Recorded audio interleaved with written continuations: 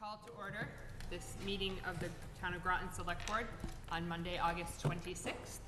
Um, We are just coming out of an executive session and heading into our regular meeting. We will have announcements and review of the agenda, followed by a public comment period.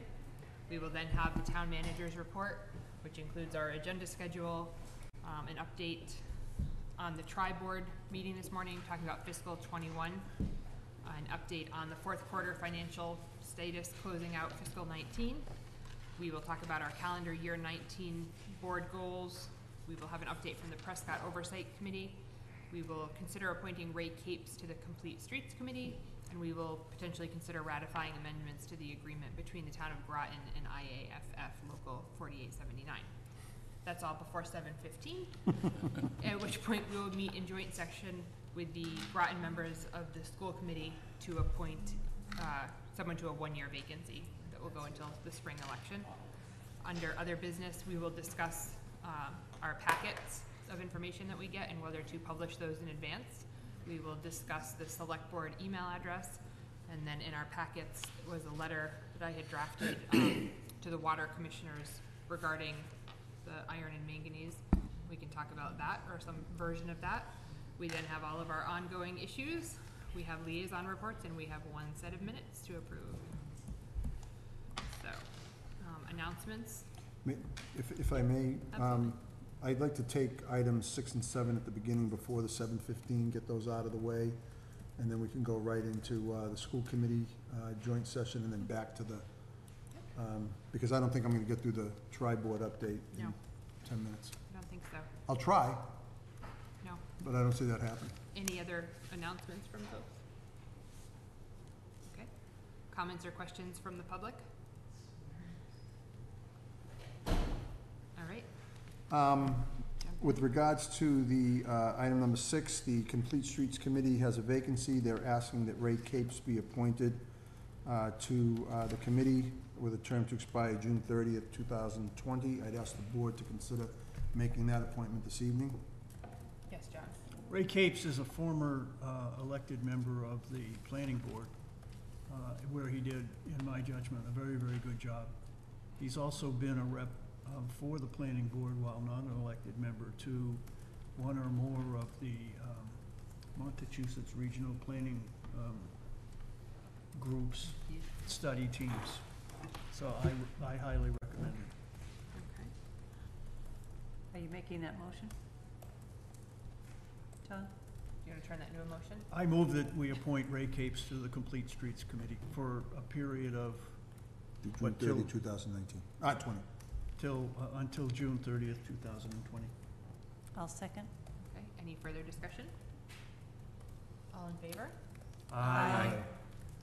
So the, the board had an executive session earlier this evening to review with me and the fire chief uh, proposed amendments to the union agreement between the town and, and local uh, four eight seven nine uh, IAFF uh, to implement, Which is the fire department. fire union, yes, thank you, uh, to implement twenty-four hour shifts. As the board is aware, we're planning on going to twenty-four seven coverage effective September 16, 2019.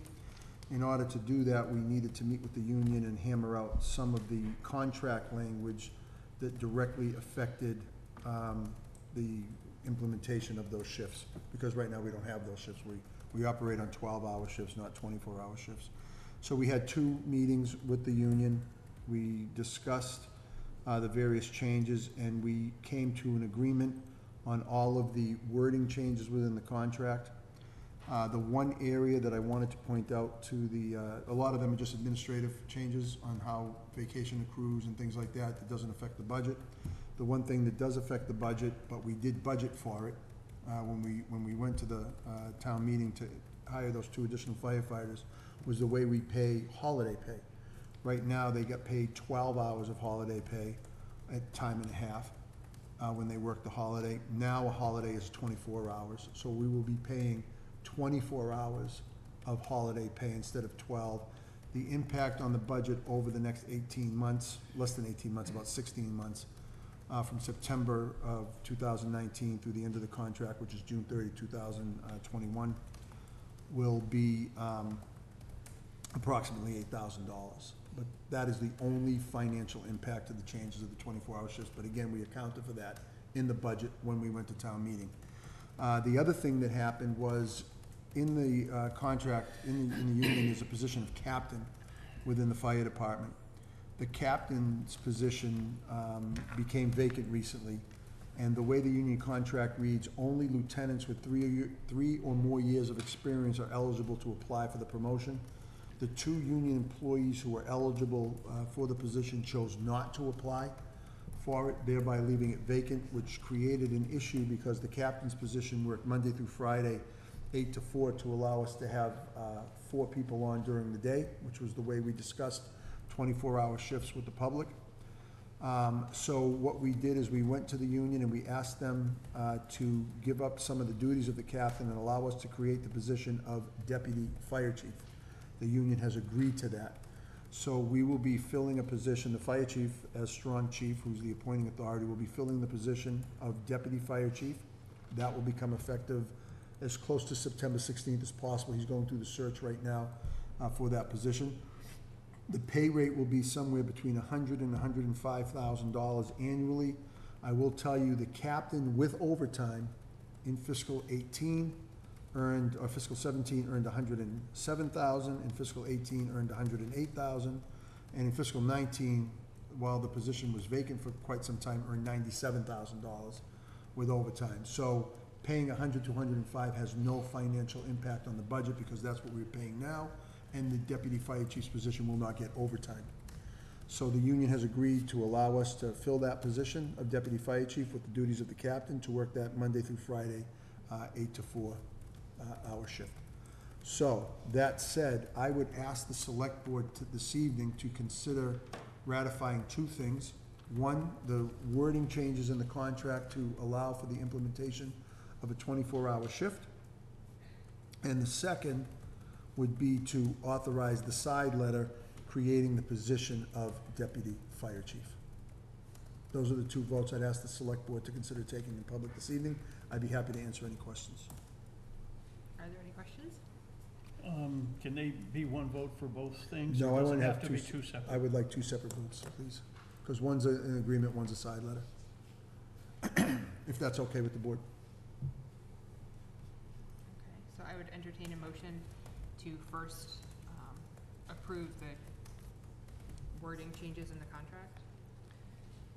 I'd be happy to make that motion. I move that we approve the uh, amendments to the agreement between the town of Groton and the IAFF Local 4879.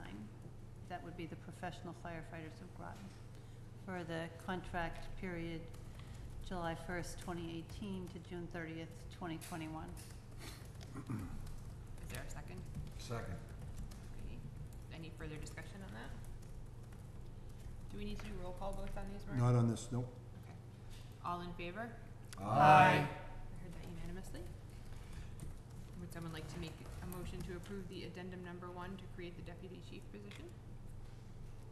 Yes, I move that we vote to approve the side letter, is that what we're calling this? To create the position of deputy fire chief. Is there a second? Second. Okay, any other discussion? I just want to say, I think um, that our,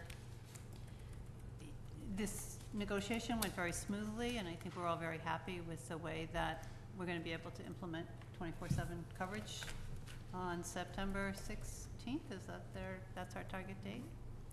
Um, This is a, a big step for the town, and I think uh, it bodes well that things went smoothly in the negotiation. Great. All right, all in favor? Aye. That unanimous as well. We still have um, a few minutes uh, before um, seven fifteen, so I'd like to go through some of the ongoing issues, if that's all right with you, Yep, Alison? please. and the board. Uh, To give you an update on the uh, senior center uh, building project, we're still on target for October 22nd. Things have really progressed uh, nicely. Doors are installed, windows inside are installed, painting is getting done, kitchen has been completely tiled, and uh, equipment being installed uh, in the kitchen, so we're very pleased with the way things are going. So that project continues down a path of, uh, of uh, completion. Can I Would- just yes, ask? please. October twenty-second is the target date to Move in. begin using it? Yes. And do we have plans for some sort of public, Kathy is working on that. I'm sure there will be huge announcements when it's ready to go. So there'll be some public open advance- house to Correct. come and see it? It is Correct. gonna be quite spectacular. Yep. So that, that's where we are with that. With regards to the town hall renovations, Hmm, uh, things have progressed uh, quite incredibly since we met last. Um, The assessor's office change with the uh, window is just about done. Really came out nice. I think it's exactly the way uh, Jonathan and I hoped it would come out. Uh, So if you get a chance to walk by there tonight, take a look. Uh, We're waiting for two things to finish it, the glass window and the laminate for the countertop. And then that project, there's just some painting and some flooring stuff that has to be done as part of the rest of the town hall renovations, and then that will be done. So we're quite pleased uh, uh, about that. Um, They were working very diligently up here today, putting in the baseboard, filling holes in the wall, getting it ready for painting, and I believe painting is gonna commence tomorrow, hopefully, knock on wood. Uh, Painting should commence tomorrow. They did all of the wall board and plastering on the first floor. I don't know if you had a chance to go down there and see it. That's coming uh, along. That will also be painted. We're hoping to get the count, uh, the carpets installed over the next week or so, and hopefully Dawn and I will be moving back, and Patricia and Sarah will be moving into their, uh, back to their offices next week, beginning part of next week, which we're really excited about.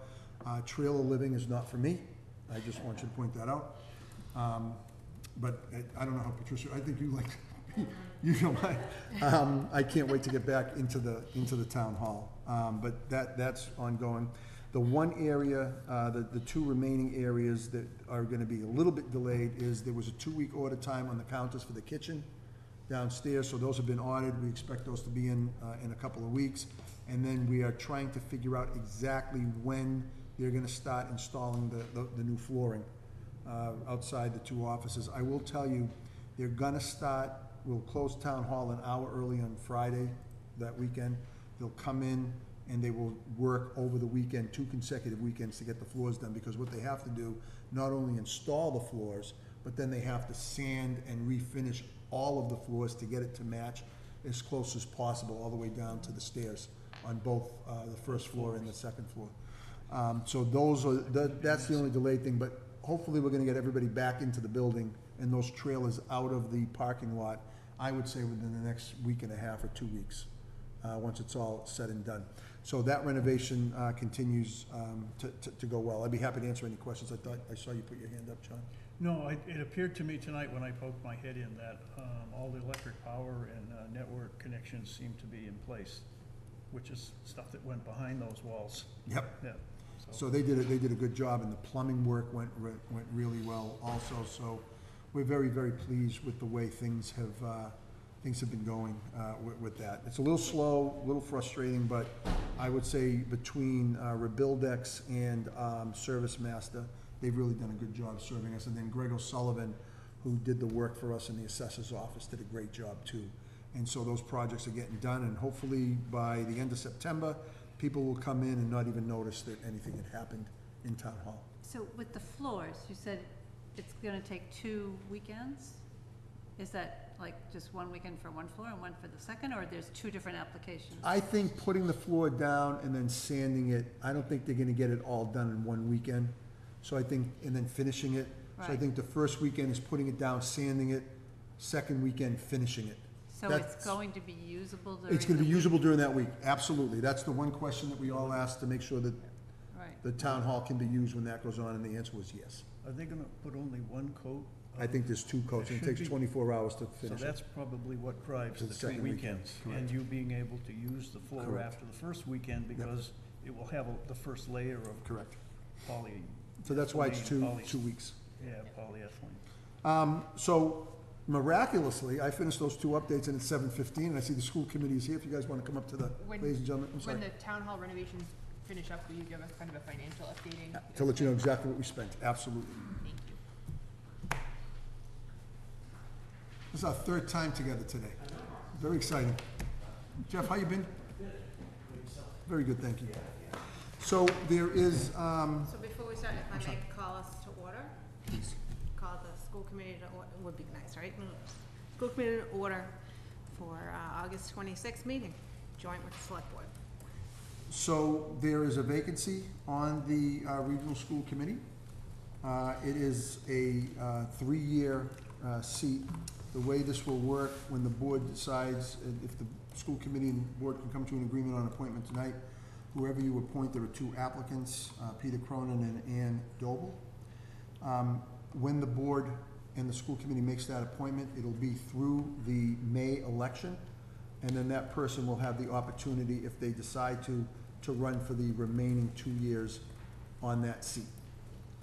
So that's where we are. I see Peter's here. Is the other applicant here? She could not attend, she had a prior engagement. Okay. So, um, that's where we are, and I'll leave it up to the board now to figure out what you wanna do next. Um, so I don't know, Marlene, have you guys spoken with the candidates? Have you gotten more Um, information well- than we had, or? More so email than, than Okay. spoken. Um, Ann's email was pretty uh, elaborate in regards to her background. Uh, That's been shared Yep. um, with everyone here. Um, Pete, um, clearly, he's already served on the school committee. He was on the school committee when we were doing um, the audits in regards to negotiations. Um, I think uh, Mark, Mark actually served as well on those, on those teams. Very closely with Peter and enjoyed the experience. I thought he did a great job. So both uh, very good candidates. Um, We've just actually had a very short meeting just to discuss it ourselves.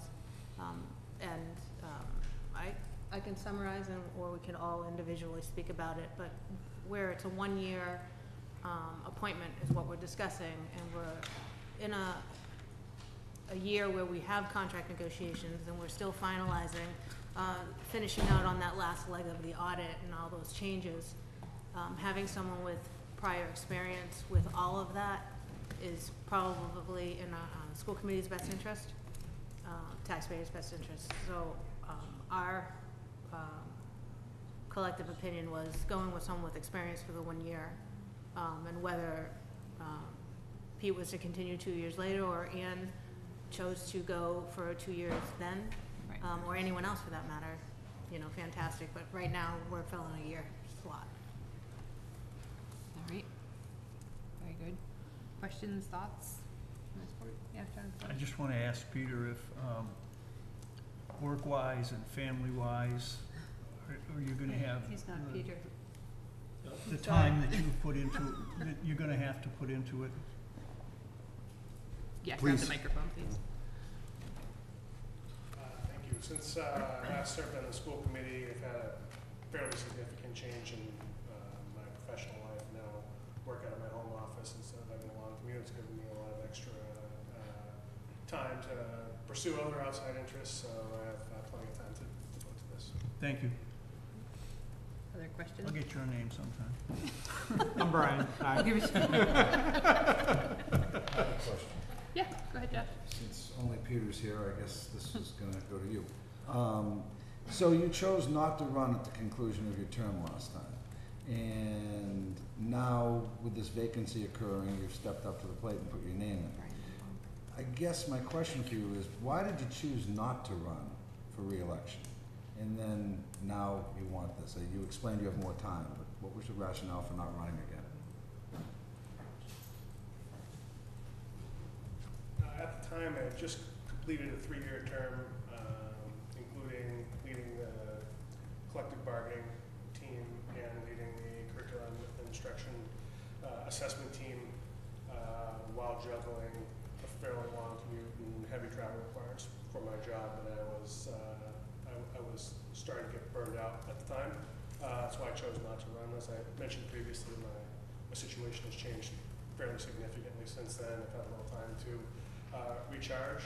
I have a vested interest in the continued success of the district, uh, having been part of the strategic planning committee, the capital plan, the technology plan, the selection of the superintendent, uh, feel that uh, they're strongly suited to help the school committee continue their great work for the period of this interim assignment. Thanks. Yeah, Becky. Um, so, as I consider the two applicants, I guess, um, the choice that we have is between someone who does have the experience, um, and that's always valuable, especially when you're in the middle of negotiations. But the person, um, who had been elected was brand new to the board, Mhm. and so the board was gonna be dealing with a brand-new, uh, person, and, and the other, the woman who stepped forward at this point, obviously is new to the school committee role, but brings really quite a wealth of educational experience, reading her, I don't know her personally at all, but reading the letter of application. So, um, it's hard to, for me to necessarily say one is better, but I guess I, my inclination is that I think bringing new people in to government is a good thing. And so I don't want to, I don't want to discourage that from this woman, and I, I think at this point that is probably how I will vote. Um, so for, yeah, go ahead, Jeff. Yeah, so just, uh, just, you know, obviously, I'm not gonna change your mind, but my, my opinion is, uh, there's nine months here. Uh, so for this interim position, it's not a lot of time. Uh, when I was new to the school committee, it seemed like it took at least twelve months to get up to speed on a lot of stuff. Um, so from that standpoint, having somebody who's been through that previously, who understands the regulations, the process, um, just helps to get up to speed faster. You know, if, if, and- I agree with you, I think she's got impressive experience, brings that educational background from, you know, the educator side of things. And so, you know, I'd love to see her run in, in May or in the spring for the position because, uh, and then have the two years to fill out the remainder of that term and, you know, Mhm. potentially re-up again after that. Yeah, I mean, I was gonna say very similarly that, to me, you know, a nine-month or a one-year vacancy, you really need someone who can hit the ground kind of running. Um, and in this case, I think the experience, um, much as I think Ann is a, a great candidate, the experience is, is what we need to make that interim a, a really active participant, so. Any other questions, concerns? All right. This vote does have to be roll call. Okay, and it's, we're, we're like one joint committee at this point, so Yes, any you one of are. us can make a motion and Somebody makes We it, can somebody seconds it, and then you do roll call. who would like to make a motion? that we appoint Peter Cronin to the vacancy in the Groton Dunstable Regional School Committee. I'll Second. second that motion. Alrighty. Any further discussion? All right, uh, we need to do roll call, Manugian I. Riley, I. Riley, aye. Degen, aye. Pine, nay. Giger aye. Kubick, aye. Marlena, I. LeBlanc, aye. Very So, good. Peter, congratulations. There will be a letter or a le- electronic transfer down in the town clerk's office first thing tomorrow morning. So before you serve on the school committee, please go down and get sworn in by the town clerk. Thank you, Thank you. congratulations. Congratulations. Yeah.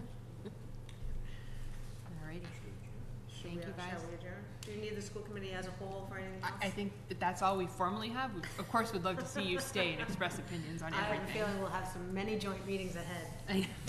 So I would entertain a Hypothetically. motion to adjourn. So moved. Awesome. All in favor? Thank you very much. Thank you, guys. That's five. Thank you. Have a good night, guys. You too. Alrighty. So do we want to return back to the town manager's report? Yes. So item number two, I set aside time this week uh, for the, to give the board an update on the work of the so-called tri-board uh, that has been working on preparation for the FY twenty-one budget. They met this morning, I think we met for about an hour and a half, and I've given you some information beforehand, uh, and I, there's some more information I want to give you tonight that I sent out this afternoon. I will try not to uh, make this too long. Could you, excuse me, I'm sorry for interrupting, could you just explain to all of us what the tri-board? Yep, it's a committee, uh, it's a, it's not a, a a posted committee, but it is a group representing the town's select board, the town's finance committee, and the Groton Dunstable portion, uh, school committee reps from Groton.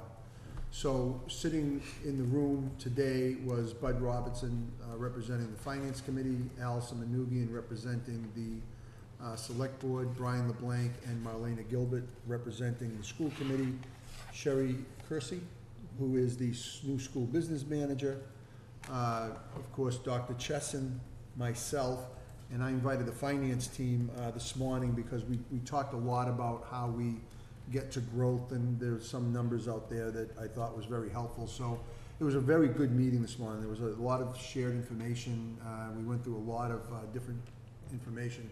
So I want to just briefly go through some of the things we discussed this morning and, and give you an idea of where we're, where we're headed. And Alison and Bud and, and finance team, please feel free to jump in if I, if I miss anything. Logistically, Mark, Please. so the information you sent out to us after tri-board came in an email, has that been That is in the packet. incorporated into the We packet? will Okay, get- so we will just have get the to it. one. Absolutely, it's, Perfect. it's all Thank the you. same thing. Um, so this is how we calculate out the levy limit. I wanted to give an FY twenty update. Um, new growth has, was originally estimated at twenty million dollars. New growth now is at twenty-seven million, and there is a, a main reason for that. The actual growth was about eighteen million in new construction, commercial, personal property. There was another eleven million dollars uh, that came in, nine to eleven million dollars that came in in growth because of a decision that the board made with the finance committee two years ago to appropriate money to do a full measure and list in the community. We had said at the time that the board and the finance committee approved it and ultimately town meeting that we would generate additional growth by doing that because people that didn't pull building permits to finish their basements, put on decks, things like that. Well, he did it, he was supposed to take three years, they did it in eighteen months, and we picked up a lot of growth this way. So that's good news. That added hundred and twenty-six thousand, seven hundred and seventy dollars, uh, to, to, to the levy limit this year. And keep in mind, the levy limit now is hundred and, the town meeting vote put the estimated levy surplus at hundred and ninety-seven thousand dollars. This is gonna add another hundred and twenty-six thousand to that, but we're gonna take some back, and you'll see in a minute what. Um, we also have to increase the excluded debt for fiscal year twenty by seventy thousand three ninety-three. That is to cover the ban interest payments on the bans that the board approved at your last meeting for the uh, DPW garage and the library roof. Then, uh, when you look at uh, estimated receipts, you will see that the final, we, we estimated the governor's number at nine sixty-five. Um, the final budget was nine seventy-one, so the legislature gave us more than the governor had designated, so there's six thousand more dollars there, which is good news. So then when we get into the actual budget, I'm proposing a couple of changes, uh, here on, on it. One, we're gonna be looking to increase the general government budget at the fall town meeting for twenty thousand dollars. That's to pay for improvements that the board authorized and discussed when we brought the department heads to talk about our financial software. So we'll be looking for a twenty thousand dollar appropriation there. We also have to increase the debt service budget by that seventy thousand that we're raising, uh, on the recap sheet for the, uh, the, the interest payments on the excluded debt for the DPW roof. Uh, the, the legislature actually increased the library, uh, offset by five hundred dollars to eighteen, uh, five twenty-seven, but then they gave us money back on the, um, as, on the cherry sheet charges, we had estimated ninety-three, six ninety-two, they were only taking ninety-three, three ninety-two. I think there was a typo somewhere, and that's probably what happened, and it got corrected, but I'm happy with the number. The other thing that I wanna do, though, is I'm recommending that we had set aside hundred and fifty thousand dollars in the overlay to handle abatements and other things that, that get charged, exemptions, the senior work-off program and things like that. Because there was such a major increase in values when they did the full measure list. We went to John Giger's house, we saw his basement, we're gonna charge him ninety thousand dollars for that basement, we increase his value. John's gonna get his property tax bill, and he's, gonna- I'm making that up, we did not get a basement. John. I'm using that as an example. It'd be nice. It'd be nice, yeah. Um, but people are gonna see an increase in their value for that stuff that we picked up. I'm anticipating a higher impact of, of abatement requests to the assessors based on that. So I wanna increase the overlay by fifty grand to cover that. So I wanna take some of that new growth that we got and put it in the overlay. If we don't spend it, it'll be available for future town meeting appropriation, should that need arise, like snow and ice deficit and things like that. But I really think we need to do that, so that's a recommendation I'm making. Yes, Joshua? So, the number had been hundred and fifty thousand, Yes, sir. And in recent history, did we not take some of that money to cover other things? We, Uh, we, we have So what is the five-year average? for- one hundred and thirty thousand. So in the event, if you kept it at hundred and fifty thousand dollars and more people came in for abatements, uh, for the reasons that you just said, couldn't you go to the reserve fund to get additional money for that? Not on the, not on the overlay, you'd have to hit the overlay reserve, which has about three hundred thousand dollars in it. We're getting, we're getting to a low level where the Department of Revenue may not certify our tax rate if there isn't enough money in there. They wanna make sure you can cover abatement requests, cause that's the only way you can do it, otherwise you have a revenue deficit. So I really think we need to go up that fifty, fifty thousand, but that's a decision that the, the board and the finance committee will have to make. Is there anything you wanna add to that, Jonathan? Yeah, it's, it's, uh, remember, it's abatements and exemptions, so, and it's motor vehicle excise abatements also, so those are all the things that go into, uh, that come out of the overlay. And there were a couple of years, um, where we, we ran a little bit lean, and we used to, we, I think, I believe, when Rena was here, we used to do about, uh, two hundred thousand a year. Correct. And we had dropped it down to a hundred one year and one fifty, so it, uh, and then we had a, a case settled, the state settled a case, um, with a major utility, and that, uh, grabbed some cash out of the overlay, they settled with them. Uh, so we're kinda getting down to that, we used to carry about six hundred thousand, down to under four. Just makes me a little bit nervous if we have a big, um, uh, you know, taxpayer in town or a utility file for an abatement. We get down to a certain point and the, and the DOI won't certify our tax rate, so. So I'm, I'm, I'm, I'm a little nervous, and that's why I wanna put the extra fifty in there. If we don't spend it, we don't spend it, but it's there in the event we need it. Um, so now, with all that taken into consideration, there's an additional sixty-two thousand dollars of unexpended tax capacity. Instead of one ninety-seven, nine ninety-five, which is what town meeting had, if everything goes according to Hoyle at the, at the fall town meeting, uh, it'll be a, a surplus of two hundred and sixty thousand of unexpended tax capacity to help offset the FY twenty-one budget. That's because of so much new growth? Correct. That's a major portion of it, Becky, yes. And then you ask yourself, well, what's gonna be the impact on the tax rate? We had estimated at the Springtown meeting that the estimated tax rate for next year would be eighteen fifty-nine. Can you zoom back a little bit so Sure, that people can read that? Uh, we had, we had, uh, estimated that the, uh, tax rate at the, at the Springtown meeting would be eighteen fifty-nine if everything passed. With this additional seven million dollars in new growth, the offsets and everything else that would go on with the excluded debt and the like, there won't be a change in the tax rate. We still think the tax rate will be around the eighteen fifty-nine. Now, that is an estimate. When we get the final new growth certified, the final town meeting votes and all that, the final values approved by the Department of Revenue, it could be more, could be less, but we think eighteen fifty-nine is a pretty good number. Yes, Jonathan? And also, the Board of Assessors had a meeting on Friday, and we're, we're in the process of, uh, setting, uh, values for the town. And the previous year, we had, we had an increase, and we're seeing, I don't know if it's quite a similar increase as we had last year, but we're definitely seeing an increase, uh, especially in. uh, Based on sales? Yeah, based on sales, especially in condominiums. So if we, if values go up, then the tax rate will come down a bit. It may come down. May. We'd still raise the same amount of money, but the higher the value, the lower the tax rate. So, but eighteen fifty-nine is a pretty good idea of where we'll, where we'll be. Thank you for that, Jonathan. That's good. Jonathan, hold on to that. You might need it.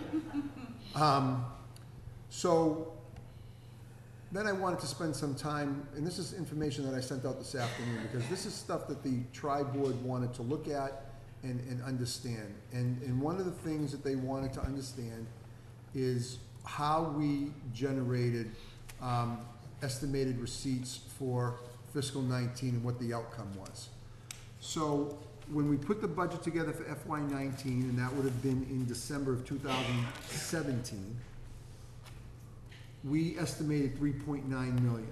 The actual FY nineteen receipts in June of two thousand nineteen was four million, seven hundred and twenty-eight thousand dollars. So we had a seven hundred and thirty-four thousand dollars more in receipts than we budgeted. Now, This is the way we've always done it to be conservative, but you may ask yourself, well, wait a minute, why aren't you spending all that, that extra money? There's a couple of reasons for that. A, we've always budgeted those conservatively. B, this is how we generate free cash, and our free cash policy says we want to generate between one and two percent of free cash each year. This is how we do it.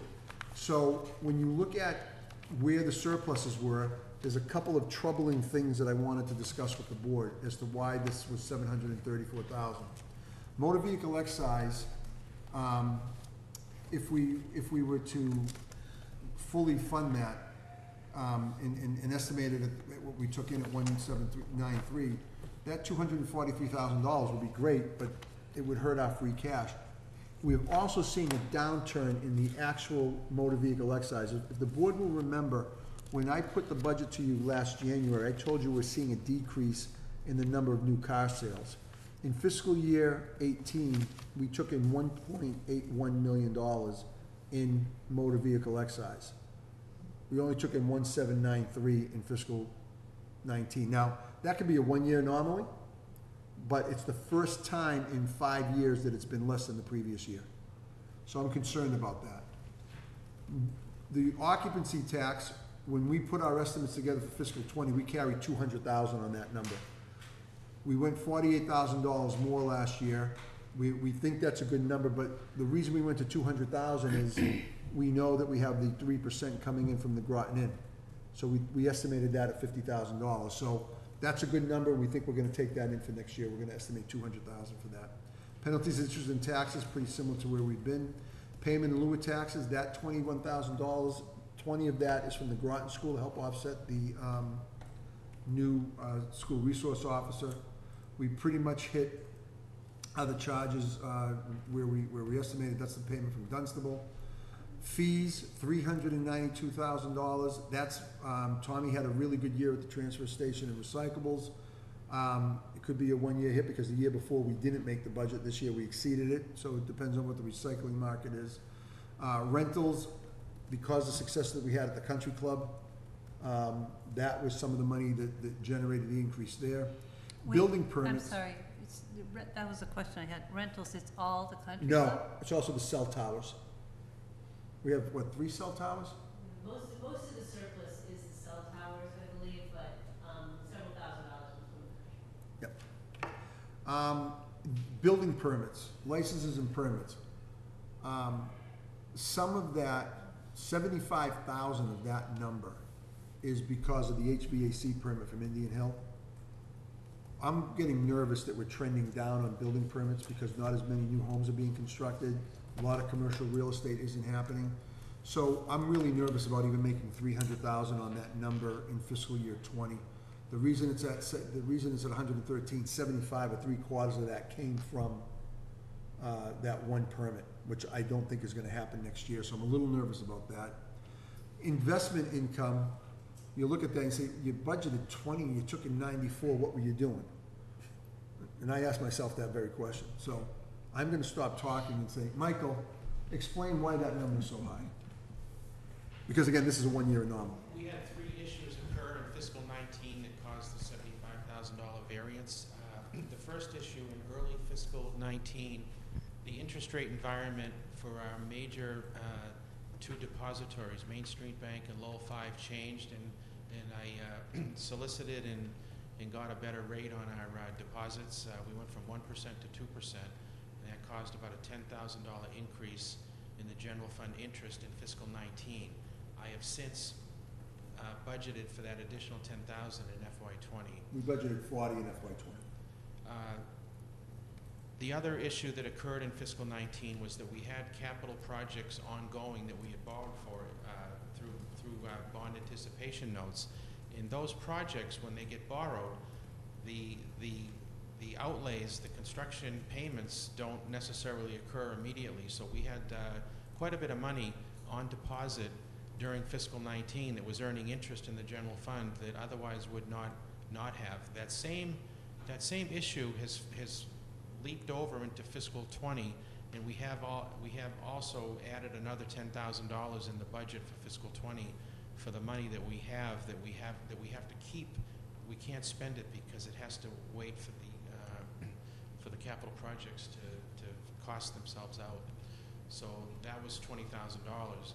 The third item was a forty thousand dollar one-time general fund interest income occurrence that was a result of, uh, in fiscal nineteen, we uh, received notification from Morgan Stanley, which was one of our trust fund portfolio managers who had six million dollars. With us, we had six million dollars with them, which included uh, a few hundred thousand dollars in general fund money. I need to keep general fund money in this main body of trust fund uh, investments because we, we transfer money in and out uh, between the trust funds and, uh, and the general fund as needed. That general fund money is also invested the same way that all the trust funds are invested. So we were told during fiscal 19 by this uh, investment portfolio that unless we increased our relationship balance with them from the current $6 million to at least $10 million, we would, we were, we were then told we would have to go elsewhere because they were restricting themselves to customers of just $10 million or higher. So as a result of that, we went to a new firm in Worcester called Bartholomew.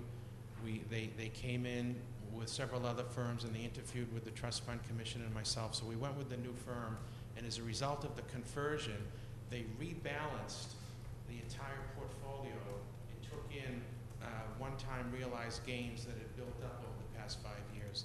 As a result of that, the general fund money that was in the trust fund balance, or was part of the trust fund balance, received a thirty-nine thousand dollar one-time um, infusion of uh, a realized gain.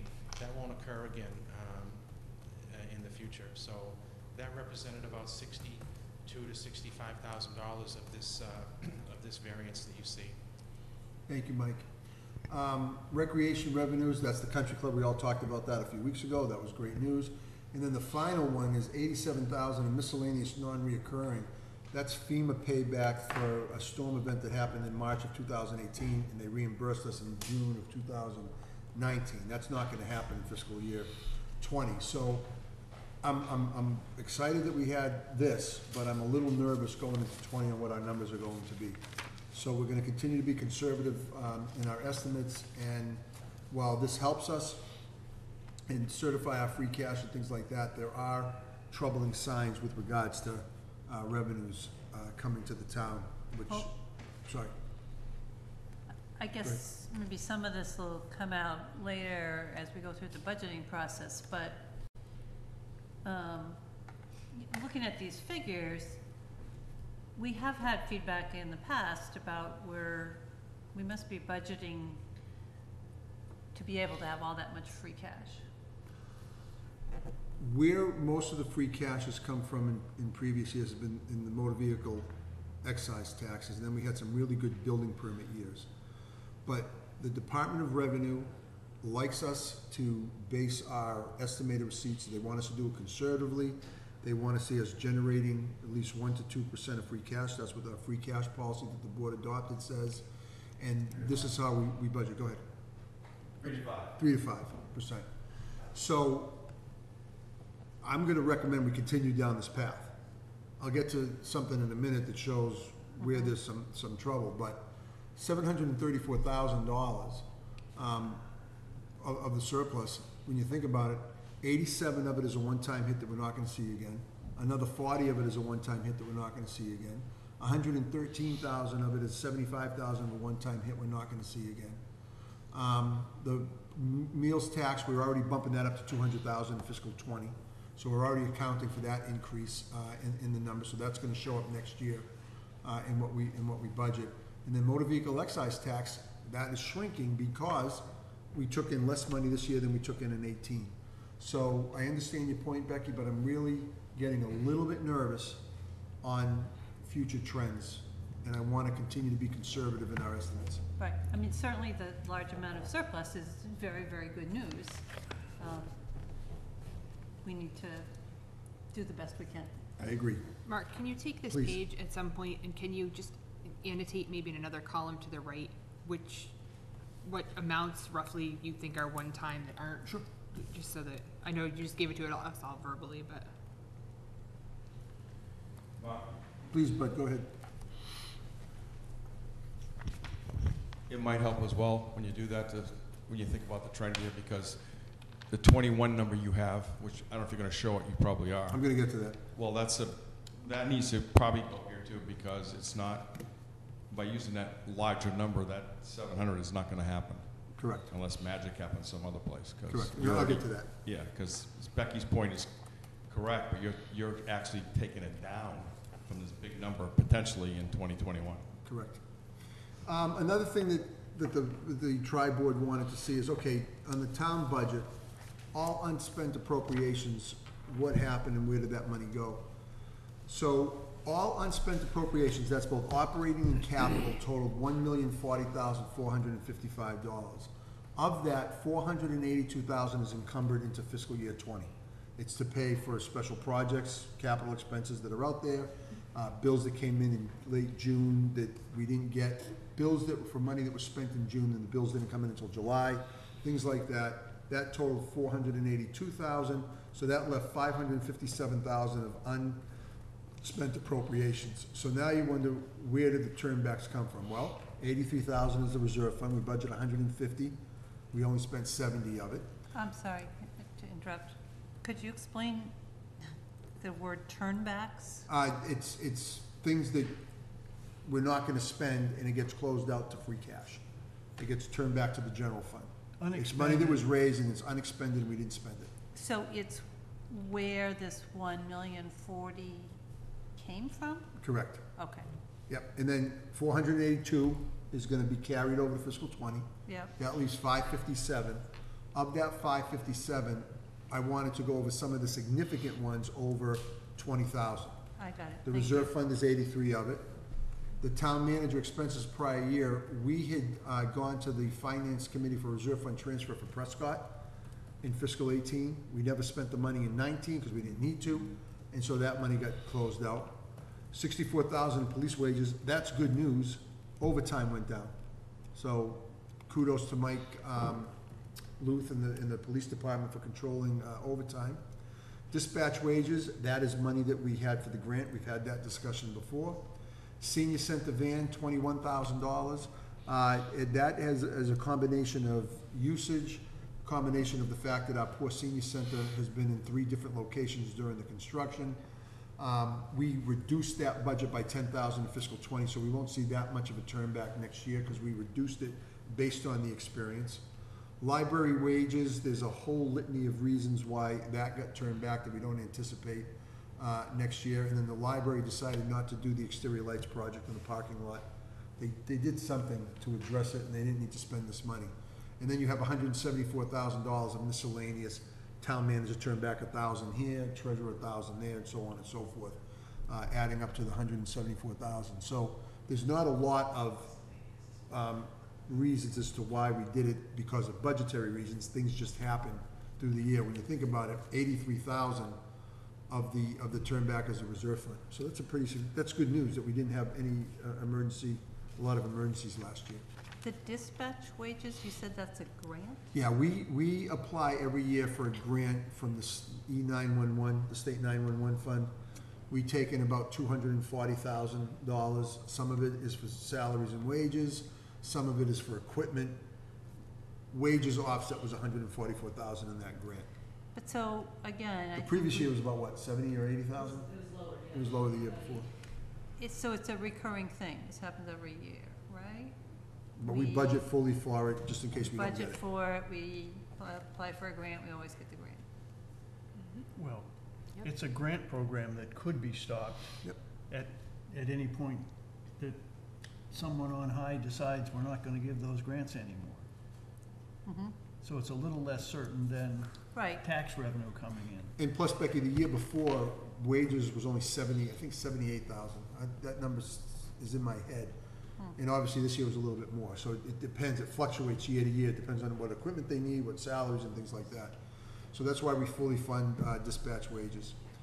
So then what we did, and this is, Before we go back. please, please, um, Alison. Can you also kind of flesh out on to the right what the encumbered amounts, you know, projects are? The four forty, the four eighty-two? And then at some point, I think it would be good to see what the miscellaneous unspent are. I know they're all smaller, but if we can. Yep. Um, And then in terms of grants, just to throw out there, that's one of the things that the tri-board will potentially be returning to discuss a little bit, because the, the schools in the town handle them differently in terms of budgeting mm. and accounting, so we may come back and talk more.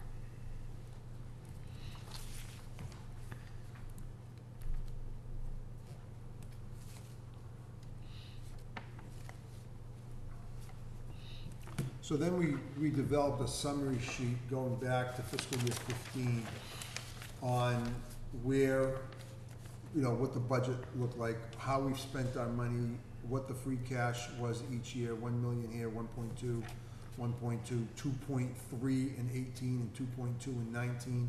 A lot of that has to do with some commercial building permits that we received from the inn and things like that. There was a one-time eight hundred thousand dollar correction that happened in fiscal eighteen that generated that number. And then we show you how we've spent that money, so I think this is good information so you can see, and then what the remaining amount was each year in free cash. So even though this number was two point three million dollars in fiscal year uh, eighteen, we started with the number four hundred thousand, because we didn't spend all the money the previous year. So we, the free cash generation was actually one point nine million that year.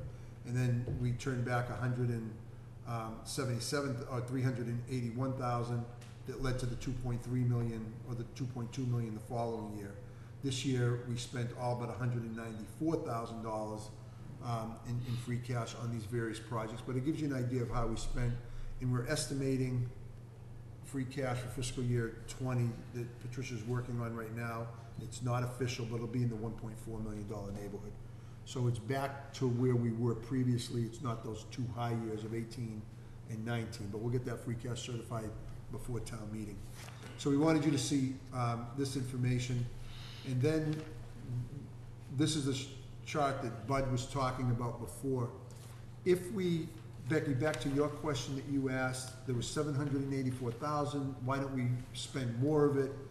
So if we do spend five hundred and twelve thousand and we increase those estimated receipts by that amount of money, A, that's gonna kill our free cash, which will hurt some of our capital projects, and I think it'll affect our bond rating, because we're not following our financial policy. But we, we think, where are we gonna be with an override need in fiscal twenty-one? We're still debating that, we're still formulating a budget. We think it's gonna be anywhere between five hundred and one point one million right now, today, there's still a lot of work that needs to be done, and we'll continue to work on that over the next couple of months. But I'm a little nervous with some of the downward trends and some of the one-time impacts that we've seen in our estimated receipts that aren't gonna be there in future years. So this sheet here shows you what the original estimate was when I put the five-year plan together, and then working with the tri-board to figure out what we can do with some of our estimated receipts.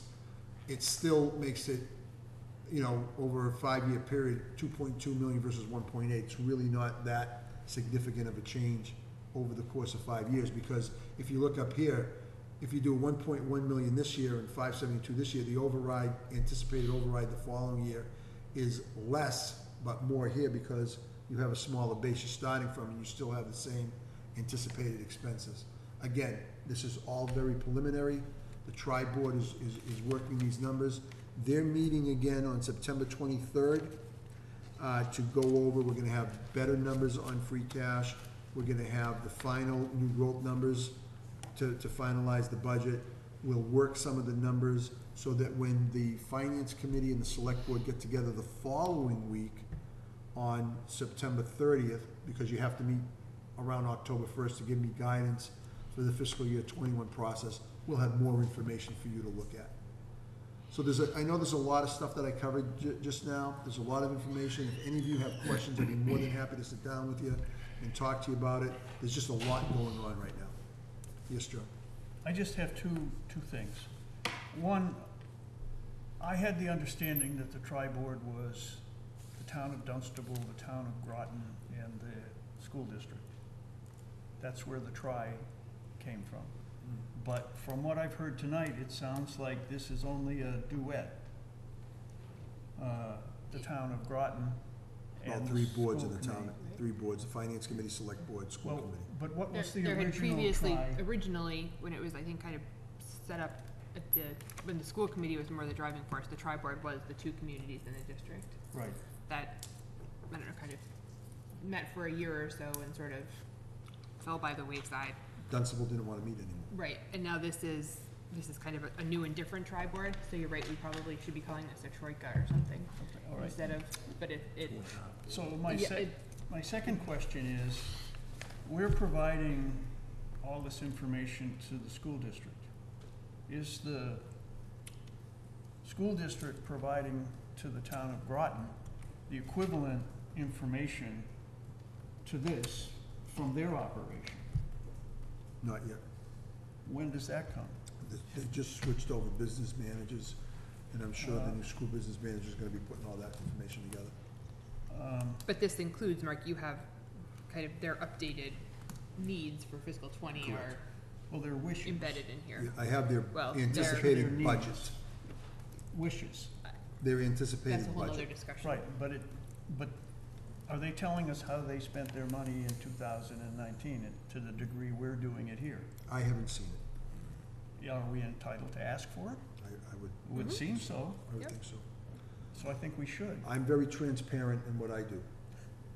Well, it, it, it doesn't get to be a duo or a try unless everybody's doing their part. That's where I'm coming from. I answer to this board and the finance committee, and I'm giving the All right, information I so- was asked. Yes, I'll John, leave it with you. We will reach out and see what we can get. Um, so I unless, will, there- I will please. just say, again, um, uh, a reduced, I mean, the estimate of how much will be needed for an override next year is down a lot, and that's good.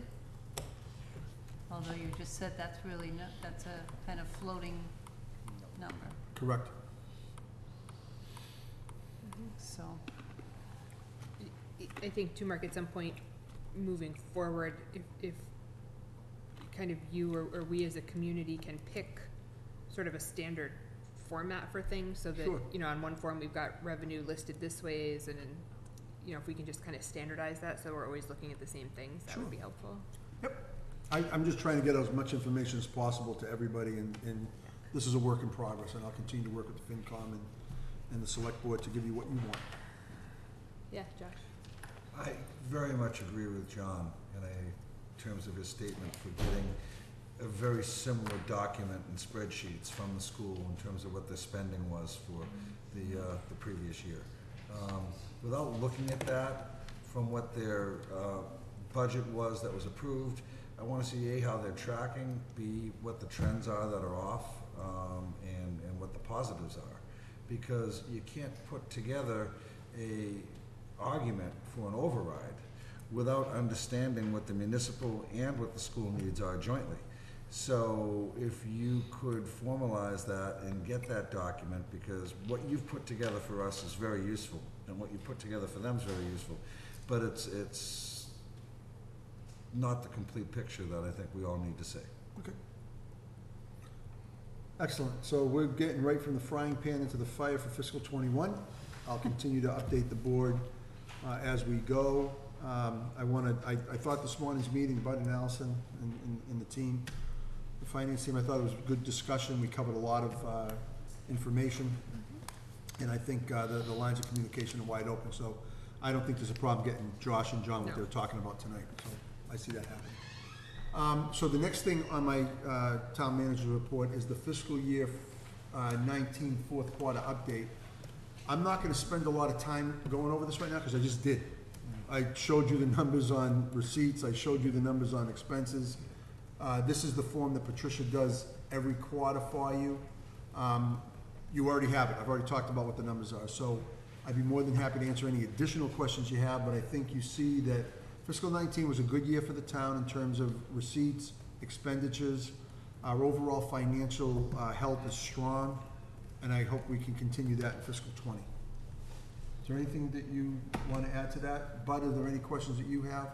No, just for people who haven't been on board a long time, this, we always generate cash for this, the reason we look here. If you look at nineteen, I think the important, there's two numbers up there. One is the achievement to budget for revenue, it's at hundred and one percent, I think it is. Yep. Rounded. And then the expense line below there is ninety-six percent. If you go back five years, those numbers, other than eighteen, was just an abnormality because of the Indian Hill and, um, the tax pulling. it was one oh one, then it was one oh four eighteen, then 17, 101, 16, 101, 15, 102, and fourteen one oh two. So we always consistently generate one or two percent more revenue. Expenses were ninety-six percent, if you go back. Eighteen was 97, 17 was 97, 16 was ninety-five, fifteen was ninety-seven, fourteen was ninety-seven. We're ver- very There is a consistent. very consistent pattern here, which is what we just talked about as far as cash generation. And we just, and we'll discuss this more in the try, whatever we're gonna call it, to see what, how much we can potentially maybe change that a little bit, but we still need the free cash for the big things like capital. We've been, cons- I, I, but that's interesting, that we've been very consistent in the way we do our business. And, and Budget's that's, been I consistent think there's, forever. there's a couple of reasons for that. We have a finance team that's been in place for a number of years. We know what we're doing. We have good support from the FinCom and the, and the select board and ultimately the taxpayers in town meeting. So, um, I'm glad you talked about that. I think that's great. Any other questions on this? Okay, when we do the, um, fourth, when we do the financial update, we also do a calendar year update. And when I was putting this together for the board, I got very excited because we made very achievable goals this year, and we worked hard on them, and I think we're showing a lot of great progress. So I want to take a couple of minutes with the board's indulgence, if I may, um, Alison? Yep. uh, updating you on where we are. So with terms of, uh, select, thank you, finance team, I appreciate you being here tonight. Um, with regards to the, the calendar goals, goal number one was select board functioning, we wanted to work on putting agendas out and things like that. We did that over the summer. Um, we've done some meetings with some of our boards. Alison and I will, will get together and we'll put together the next several agendas now that we've reached the end of August. We're gonna be going into a, a more weekly, after next week, into a more weekly meeting schedule. So we'll work on, on getting that out. So I would say this goal is, is, is ongoing and it's, and we're doing what we said we were going to do. We've had a couple of updates from some committees. Um, and I know one of the things we were talking about was, uh, uh, how we're gonna appoint committee members, which we need to talk about when we get into the, uh, goal number two. But I know Becky has been working on that, and I think you were planning on giving an update tonight on that, Becky?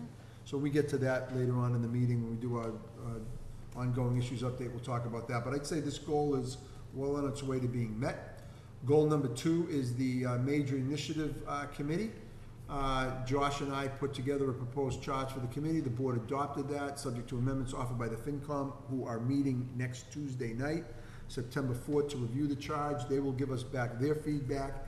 In the meantime, we advertise for this committee, and as of, uh, four o'clock today, or five o'clock today, we received eleven. We received one more, Becky, after I talked to you.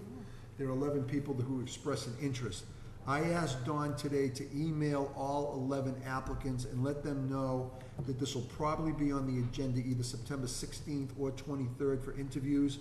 I wanna wait until the FinCom reviews the charge, gives you feedback, allows you to debate it, send it out to them again, and then do your interviews after that. So it'll probably be around the, we'll probably talk about the charge on the 9th after the FinCom meets on the twenty, on the fourth. You guys can look over the FinCom's comments, put it on the agenda for adoption on the twenty, on the sixteenth, and then maybe do the interviews on the twenty-third or, or something like that. Does that make sense? Okay. What So- size did we decided, or Five. we decided, if that's what. So you have eleven applicants, and that's why Becky's appointing thing, the way we do it now is you vote, Right. and then, which works, but if you wanna tweak that, fine, if not, that's what we'll probably move forward with. But I would say this goal is well on its way, uh, to being completed. With regards to the green communities, um, we did receive the grant, I believe I sent you out a copy of that last week. So we are well on our way for filing our grant application on, um, in October. So I'm very happy about that, the MA, M- MRPC will be helping us. And it's only, they've only just begun on it, Correct. right? Yep. Okay. Yep. If, um, you know, if there are any issues that come up in the department heads as we go through that, you'll keep us informed. Absolutely will. This is important, this is an important goal we wanna get, uh, done in the fall. Mark, does MRPC have a set kind of process or protocol to help us determine when we wanna set those start and end dates for the first three-year? Yeah, that's That's part of what she's working on with us, so Okay. yes, we will have, um, we will have that ongoing, yes. I'm just making myself a note. You'll indulge me for a minute. Um, With regards to determining the level, affordable levels of public safety, last meeting, you had the police chief and the fire chief in here. They've given you, um, I don't wanna rehash what they did, they gave a very two-hour, um, presentation last week, uh, last meeting, but I, I, just to summarize it, the police chief feels he, he needs another year to evaluate the police department at full staffing. He suggested that there is something about needing two additional dispatches. that could be something that the Major Initiatives Committee takes on, one of their first tasks, uh, to, to, to look at once you get them up and running, or the Finance Committee. Uh, the fire chief, you know, wants to continue recruiting call firefighters. I put in, in here, there are ten applicants that have come through on the last charge. He's hoping to get six of them as call firefighters, so that's good news. So there is interest, all of this discussion in public has been very positive, getting people to come forward. Um, and also with regards to the emergency management function, you ratified my appointment of Steele as the EM director. He's working over the next several months formulating an operational plan. So I'd say this goal is well on its way, uh, of being completed. Review all select board policies. Town counsel, who is here tonight, uh, gave us all of his comments. The next step in the process is for Alison and I, and we're meeting Friday morning at eight o'clock, uh, to start going through the policies to bring them back to the select board. So, town counsel did his job, now it's up to Alison and I to do our job to bring back final proposed policies to the board. So this goal is well on its way, uh, of being completed. Um, And I think I had mentioned before, but it seems to me that when we get to the point of reviewing everything that you're gonna recommend, we should do that at a workshop session. Yeah. I agree with you hundred percent, because that's gonna be a lot of work, Becky, you're Yeah. right? Um, with regards to this one, the operating budget of the school, uh, and town district, we just spent the first part of this meeting reviewing that discussion, so that, you know, there's full communication, uh, between the schools and the town, so we're, we're, we're moving forward on that particular goal, so I'm very happy, uh, that we've met that. Um, Oh, yes, please. I I guess I would point, I just want to point out, and I'm reiterating something I said earlier, it doesn't sound as though the communication is equally strong in both directions. Understood. We'll work on that. We like the direction of the town side of communication, though, right? I'm fine with that. Thank you. We put all the cards on the table. I think that's what everybody needs to do. Um, with regards to goal number seven, I'll defer, you know, Becky has been appointed to the, um, Housing Trust to replace Josh. I'm not sure where we are with this, Becky. I don't know if you have an Well, update. I- It's, you know, it's, it's sort of embarrassing, it looks like we haven't done anything. Um, I think, I- I've said this before, um, it is frustrating to me that there aren't, or so far I have not discovered, good options for what the select board can actually do uh, toward um, getting more lower-cost housing in this town. Um, I, I would say there are some things that have happened, but they have happened by other groups. The housing production plan had a big, uh, meeting in, I think, June, end of June. Um, and got, and they're well at work on gathering data and writing the report that is required. That's, that's being overseen by the planning board, I think. Um, and the house, and now that I'm on the Affordable Housing Trust, that group is meeting later this week to also continue discussion of that. Um, I understand that market forces generally, uh, control what gets built on land. The developers build what will make money for them, and I can't fault them for that. Uh, however, just if anybody is listening, uh, I think there is a demand for smaller housing for over fifty-five population, the over fifty-five population in this town, not necessarily subsidized. Um, and so I continue to hope that some way we will find some way to construct some of that housing. Josh? Kind of following up on, on what Becky said, I, I think that the reason that very little's happened from the Affordable Housing Trust perspective is that an extremely disingenuous developer who, in my opinion, built the town, um, the homeowners over Boynton Meadows, um, has handicapped the ability of the trust to get additional funds from town meeting to explore some of the alternatives that Becky was talking about.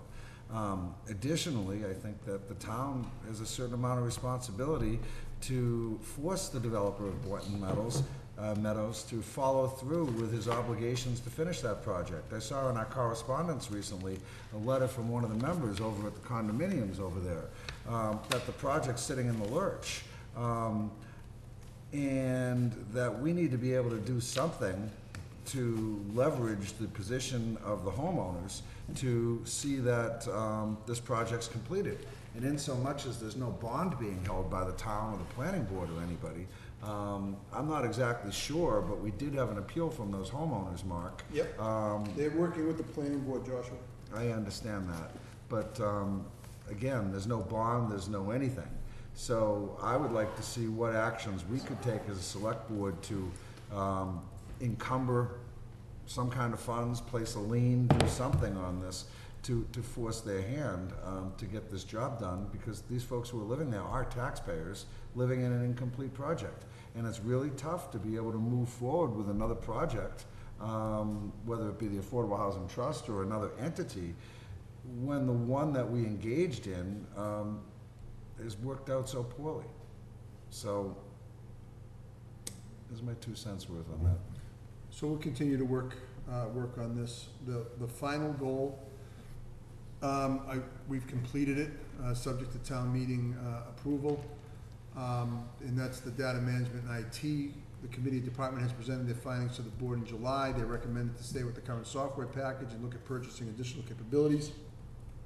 You saw in my anticipated, uh, fall town meeting budget, the, the money to do that. So I would say, I am very pleased, thanks to the support of the board, the department heads, uh, Dawn, and the work that we've been doing, town counsel, that we are really close to achieving all of our goals this year. Kudos to, to everybody to get that done. So that's, I was very excited to give this update today. Very excited to give this update today. Unless there are any other questions, let's move to the next bit of information. And I see Bruce and Mary and Bud are here, and Josh is here, and I'm here. And that is an update on Prescott. So you will, yes, John? Before we go very far, I do not understand what the headings of these columns are meant to be. Okay, It well, just, it's just, I don't know what they're trying to show here, so maybe we could start by explaining what, what these columns and the labels that they have are Absolutely. intended to identify. Mary and, and- and Bruce, you wanna come up to the table? Bud, if you wanna come up to the table? so we Maybe can I'm talk the to only one. No, no. Uh-huh. I, I think too, to jump on that, that, that this, like some of the other things, it would be great if there were sort of a standard thing that we're seeing every Yeah, few months. this was our first, this was our first go-around, and they followed on their income and expense line what they submitted when they submitted their RFP. So they follow, and please, Mary, correct me if I'm wrong, they follow the same format as what they did with the RFP. So we pretty much looked at the same categories going down, but I'll let Mary and Bruce take us through uh, their budget. Bud's here, Josh is here. We went through this in great detail, in great length, uh, when we met with Bruce and Mary uh, a couple of weeks ago before Josh uh, left on So- his job. So is one of these columns that information from the RFP? Yes. Yes, Column one is, the is the original correct. budget that they, they put a three-year plan together, remember Yes. that? Yep, yep. Column one is that, that first column that says Okay. budget. Wait- wait a Column second. two, Uh, just. Column one, is there any meaningful difference between proposed year one budget, September 18 to August nineteenth, and the year one budget, September eighteenth to August nineteenth? Why is that the title's double? twice there? But That's they're what I'm trying to different. understand. They're different Which, titles. which one you looking at, John? One calls it about a proposed budget, the other says a one-year budget. The dates are identical. Yeah. There's only Well, it one says set of numbers. Right. Well, wait a the first column is the budget that they put together for year one, okay? That was the budget they put together originally. So, Column two Is No, what- actual. is actual, The center year one. section. It's a, it's a projected where they think they're gonna end up against that budget year. So That's the two- column one, column two and column three. One is where they are through July, and they said that now they have a, where they're currently sitting, and then they say, here's what we think the projected final is gonna be. So if you look at that column, it says they, they're, that's where they believe the numbers are gonna end up for that year. So is it the case that the names of the columns Yeah. have simply been duplicated? There's no significant meaning to the difference in the wording or anything else to the double heading? First four rows have been repeated in the printout, Okay, sorry. I can understand, I understand that. Oh. Now, thank you. Go ahead. Looks like they've been repeated. Go ahead, Bud. Yeah, we had the meeting in July, so you can see in that middle section, July 2019 was what we actually had. And then we projected what we would end with. Over the, the remaining two months, July and Right, August. right, because our fiscal year, year ends August 30th. But we are obliged by our lease to meet in July. So that's uh, why we're showing you uh, what we think is pretty good news, and we're ending on a, on a pretty high note here with our projected versus our actual. So That- does it, on the gross profit line, is that, is that the ending? Is that what you're talking about? No. Oh. That's the revenue line. They call it gross profit, it's revenue. Okay, There's terminology that was used that's different than we're used to. That's a, that is a revenue line. okay. But to follow up, Expenses are below that. th- just to use the gross profit line as an example, the first number is what was projected for the first year, Mhm. The ninety-one, yes, the Ninety. ninety-one, Mhm. eight eighty. yeah. The eighty-two, five eighty is what is anticipated at this point for the ending of the Well, first year. They, well, we discussed this at the meeting and it wasn't corrected here. I brought, yeah, it wasn't, You I got brought, yours? I brought the corrected The, copy. that, This was all I had after the meeting. yeah, the eighty-two number should have eight four two oh added in. So we got the corrected numbers there. Yeah. This is uh, where we're ending up. So a little bit simpler to see, and it also shows you, because you might be asking about year two and year three, we do that in there too, if you'd like to look at it. Uh, This is. this is- So- Realistically, when, when do things get closed out? Alison, did you just give yours away? The actual end of our fiscal year is August 30, 31st, so they'll be officially. Ju- So just in terms of the workload, I mean, is it, will we have something you think in September, or are we looking into October? To have Mm. final numbers, is that? We have very little to worry about closing out because our utilities are pretty well paid for and projected. We know here what our, in- what we're gonna be Okay. paying our employees, and we aren't running any programs during the summer. So, uh, closing this out, I think you'll agree, Bruce, is pretty easy, yeah. Okay, so, We'll, we'll close it out pretty quickly. But I think from what you see here, from what we planned to uh, what we ended up with, and if you're looking at the sheets, you'll see some, some of the major differences were in our class tuitions. We projected that we would make thirty-three thousand five hundred in tuitions. We actually Mary, made can you forty help us thousand. understand where, where that is? Where's that line? This is under income. Uh, well, the screen the is, screen's wrong, huh? the screen is a little different, but yeah. Well, the only, Okay. thing- the only thing that's different on the screen is, they're all correct except it doesn't add right. Those No, the numbers are and these all right. numbers It just doesn't add up. identical. Here's what we projected, thirty-three thousand five hundred. We ended up with forty thousand in income, which leads us to believe that the programs that we were providing, fall, winter, and spring, uh, were, well, we know they were well attended, and we had about seven hundred registrations over those three semesters. So we made more money on our programs than we anticipated. We had, uh, the other big part of our budget comes from, uh, long-term space rental. We, of course, didn't get our lease with you until August, so we were a little bit behind the eight ball in getting our rentals in. But even without these not being full-year rentals, we hit the mark of twelve thousand thirty-two. And we we project next year twenty-three thousand, we have secured four leases for next year, as long as I'm pointing this out. We have four major leases signed for next year, and already we've hit that twenty-three thousand dollar number for next year, which is, we have twenty-six thousand dollars in leases tied up for next year. What and does the for more. one? So on our sheet, there's a one in parentheses? Yes, that referred back to the report we gave you in our business plan to show where we thought the rentals were coming from. You recall it was, uh, with a certain percentage of the,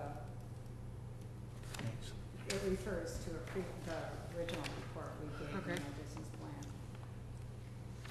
So, uh, we tried to give you what we, uh, what we had in our, uh, So proposal those to numbers you are the and same, where the we columns ended up. didn't add up right. Yeah, that's what I said, the It's only thing is, the only thing that's only wrong thing- is the eighty-four twenty is not added into the eighty-two. All the numbers are correct, it just didn't add down right by eighty-four twenty, This left four out. twenty wasn't added in So if there? you add that in, that's the ninety-one thousand dollar number that's on your sheet. And It the just wasn't reason- added right, all the other Right. numbers are correct. The reason that was added last is because this is accrued assets. We came into this year having had a pilot year the year before from, with the school district. And we, along with donations of our founding members, had accrued assets of fifty-eight thousand dollars. And we had projected we were going to take twelve thousand seven hundred thirty dollars of our accrued assets and put them in to, to uh, Prescott this year To break even. to break even.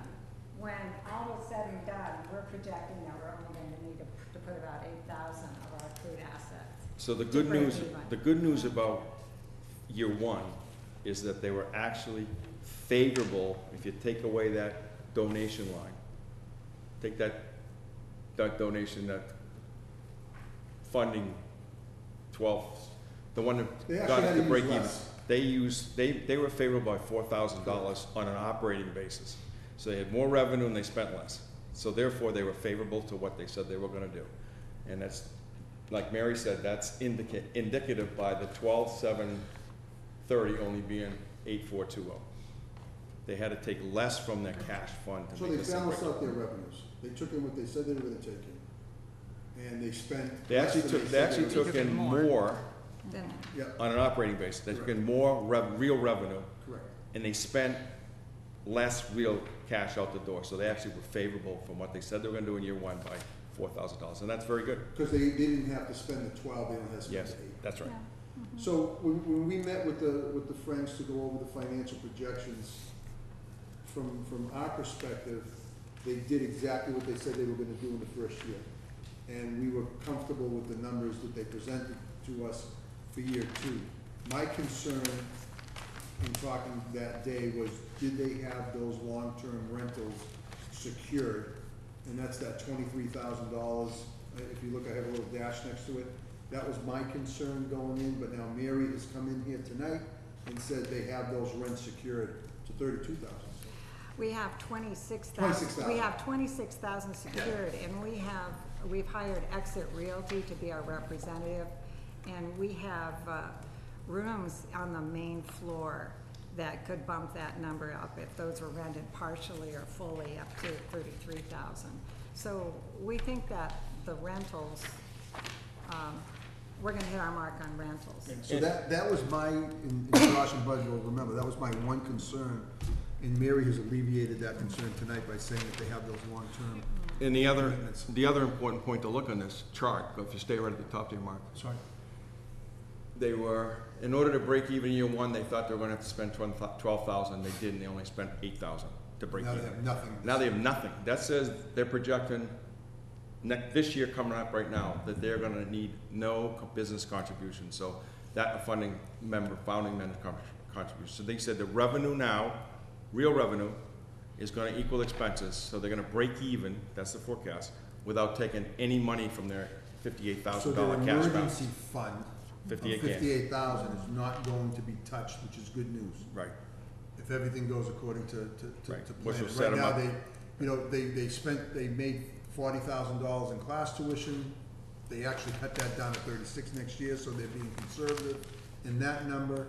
They have long-term rentals in, in which they're providing, um, they have that, that covered, which is a major portion of their income. So the ninety-seven thousand dollar budget next year, without touching their fifty-eight thousand dollar reserve, is good news.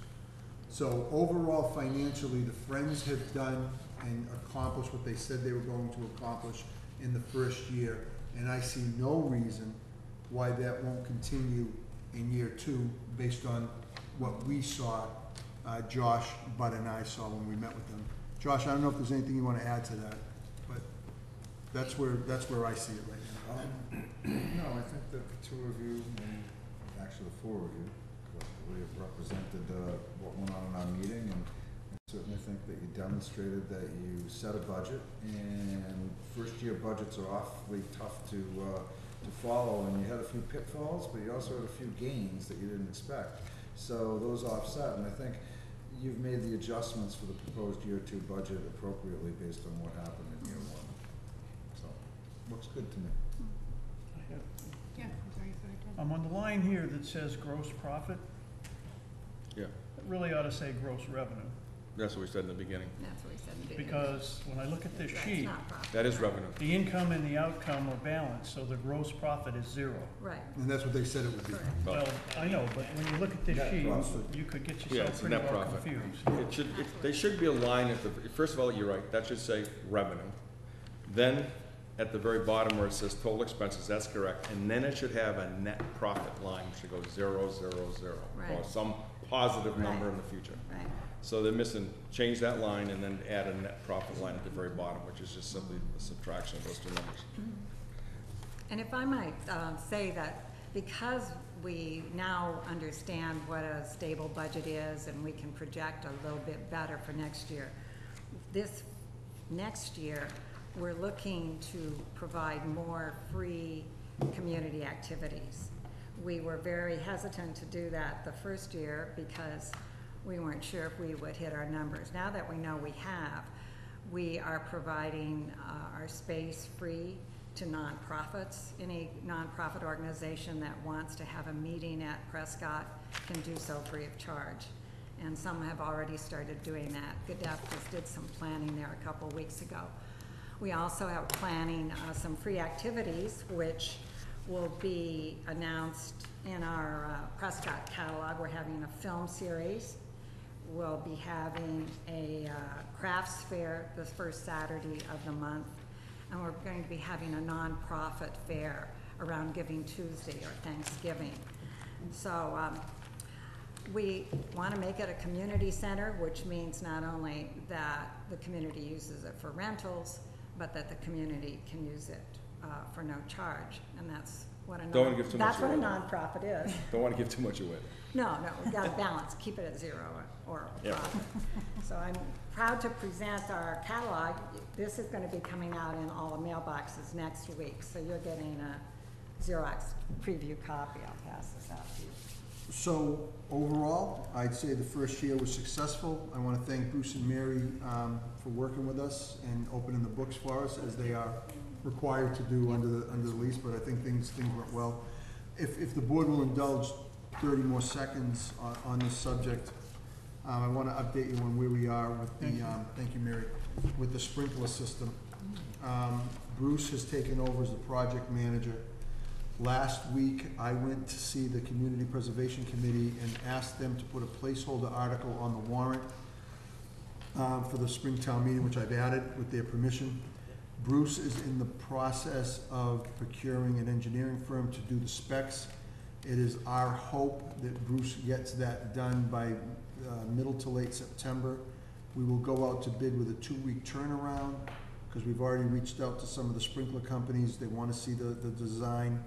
We have an anticipated bid opening date of October sixteenth on the sprinkler system. Depending on what the numbers are, we will either have to go to town meeting for additional funding from CPC or not. I'm hoping not. We don't know. Um, but that is in process, and if we can get that done, that will give me even more confidence in the projections from the Friends, because now they'll have access to additional space within the building to rent, which is, would be good news. It's critical for Um, year three.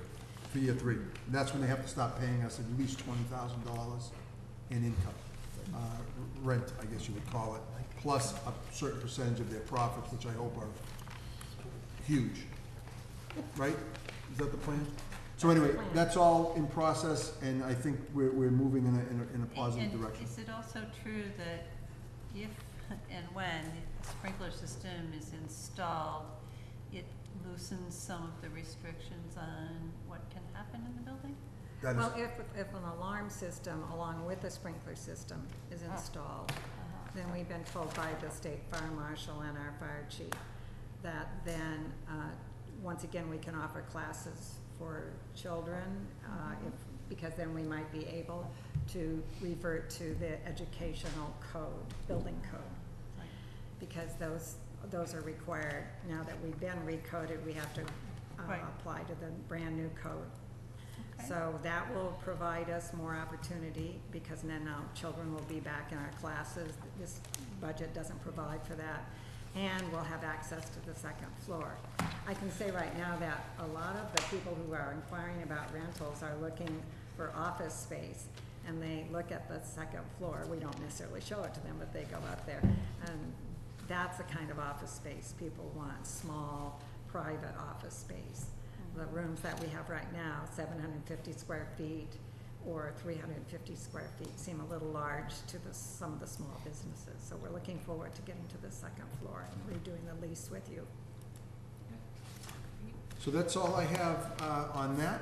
Thank you, Bruce, Mary, and, uh, Bud, and Josh. So that concludes, um, the town manager's report. We have some stuff under, uh, other business, which the Yep. board can take up. The first issue is something that Josh asked to be put on, um, tonight's agenda, uh, before he had, uh, left, he wasn't at the last meeting. Uh, the specific issue is whether or not to post the, um, select board packet prior in advance of, of, of the meeting on Monday night. Um, Josh and I have had some spirited discussions, I would say, on the, on the subject matter. Um, so I'll let Josh give his piece and then I'll respond with my piece. Well, I've been approached by a few members of the community who, when they saw certain issues were upcoming on agendas, they wanted additional background information. And at first, uh, we had talked about this as a board a number of months ago and decided that, you know, we should not publish the whole packet uh, online. Um, And I was in agreement at the time, because I get to see the packets every time they come out. So I really don't have any question on the background and backup information on things we're gonna discuss, because overall, um, Dawn and, um, Mark do a very nice job putting together that information for our purposes. So, when a couple of people spoke with me about upcoming issues, they didn't understand the rationale behind a few things, and said, well, if you publish the packet, certainly that'll give a tremendous amount of background, not just to you, but to the public at large.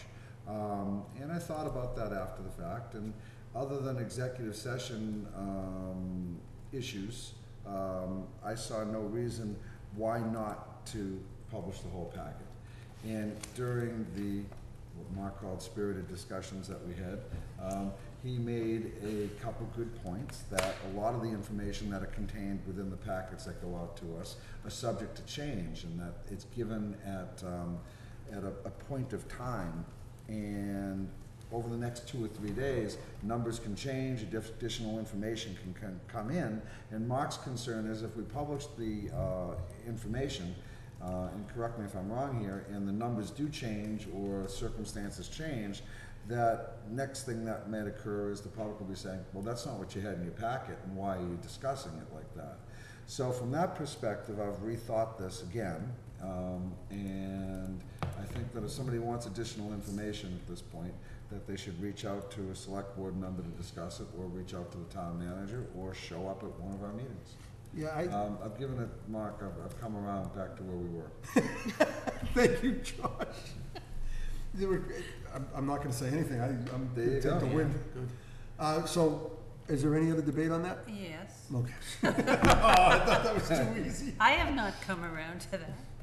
Um, I, I thought for a long time that we should be releasing the packet to the public, and I frankly do not, I, I guess I'd like to hear from you, Mark. What is the argument, other than, well, the information might change, and so someone would Two, two specific have the examples. wrong expectation? Yeah, two, that's, I'm, I'm glad you asked. Two specific examples have, have come up in just the last two meetings. I sent out the charge of the, and that was one of the issues that people were looking at, the Major Initiative Planning Committee. I sent it out on a Thursday, it was the draft. I received feedback from several members, and I provided an updated charge on Monday. Now, if I had published that revised charge, and it changed significantly from the Friday to the Monday, we added that whole thirty thousand dollar piece, which was a significant change in the, in, in the charge. I post that online, Bruce Easton goes online, reads it, says, oh, okay, that makes sense to me. And then all of a sudden, what gets adopted, and he doesn't go back and look to see if there was an update posted to the, to the agenda. And now all of a sudden, we change it by adding a significant change to it. Well, now all of a sudden, Bruce is like, well, wait a minute, that's not what I saw, what's the problem? Tonight, another example, I sent out budgetary information to you, but now I gave you supplemental information, uh, prior to the meeting tonight that allowed you to look at and have questions. That wasn't in the packet. I'm just not comfortable putting it up online because I don't know if Bruce or Mary or Bud or Judy or, or Connie is gonna look at it. And then I don't know if they looked at it, I don't know what they know. It would be more helpful for people to contact me if they see something on the agenda and say, hey, Mark, is there some backup information you can give me prior to the meeting? That happens a lot right now. And I can tell, you, I see Anna sitting over there. Anna asks, sometimes she sees something on the packet, hey, can I see what's on the agenda tonight? Can you send me that information? Absolutely. We, we want, we want to be transparent. We want to give out information. I'm just uncomfortable posting it when it's subject to change. That's my, that's my argument, that's the argument I made with Josh.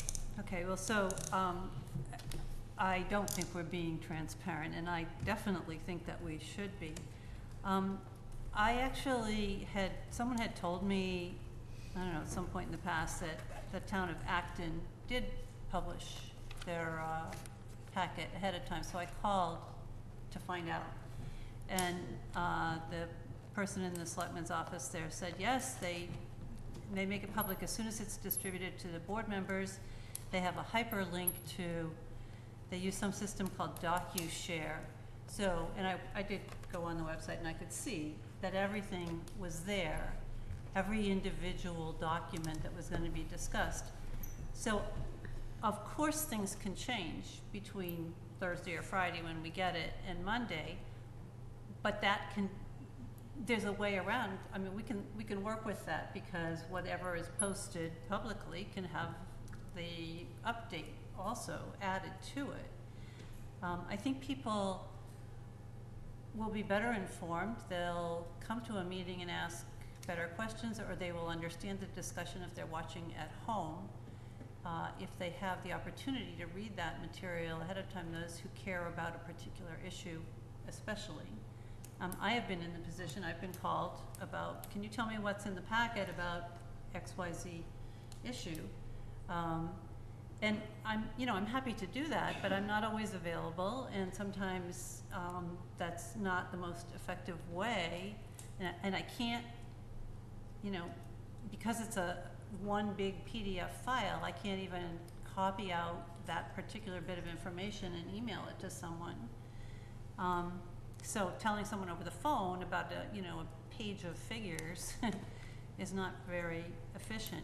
But there's another aspect of this that I think is really important, and that is that the information that comes to us in the packet and gets discussed at the meeting, it's up on the screen, it is not saved on the website. So there is no place that we or any member of the public can later go back to refer to it. And I think that is a, a, a tremendous failing uh, for ourselves and for the public. I mean, I know I have tried to go back and find a document that we discussed six months ago, and, you know, the last time we talked about this issue, and it's not there. And, and I think it should be. I mean, I don't, I, I guess I think it's surprising to me that we haven't, um, had some complaints about this, cause these are public records, and I think that they are supposed to be saved. We talk about them at the meeting, I think they should be made public ahead of time, and I think they should be saved on the website, and I think that we are, um, we're failing the public by not doing that. John? Uh, I've got a couple of thoughts. Um, One concern I have is that uh, when we start, if we were to start putting the whole package out there, you know, we'd really have to freeze that package at the point we put it up there. Because if things do change in the two or three succeeding days before the meeting, there's no way to get the word out to everybody that, oh, this particular document has had a change, unless they're subscribing and we change the agenda. Um, And it concerns me that it may hinder us getting the best information available before we come to the meeting. Because we put this wall in there that says, you have to deal with at the meeting what we closed out three days ago, because that's what you showed to the public. So that's, that's one concern that I have. Um, I have another concern is I'm always happy if someone calls me and, and wants, uh, to have a piece of whatever is in, um, the agenda package. Uh, because one, I can tell them that I'm gonna give it to you, but it may change. So don't go to, don't go to the bank with it, but co- come to the meeting. And I can go in there and cut out any page, any collection of pages and move it over into an email and send it on its way. So I'd much rather they call me personally than us locking it down three But days it's a before the PDF, meeting. you can do that? Beg I your mean, I pardon? guess It is, it comes as a PDF document, I guess I just don't have the technical skills to cut part of it I have out. several tools that will just cut it out, take an image and turn it onto a mail. So it is doable. And I think it's a better approach. I'd rather have a conversation with them and give it to them and say, you know, this is what it looks like right now, but it could look a little different come the meeting. So if it's important to you, please come to the meeting. That's where I'm at. So for me, I struggle a little bit because I don't think that the packet is intended to be a standalone document.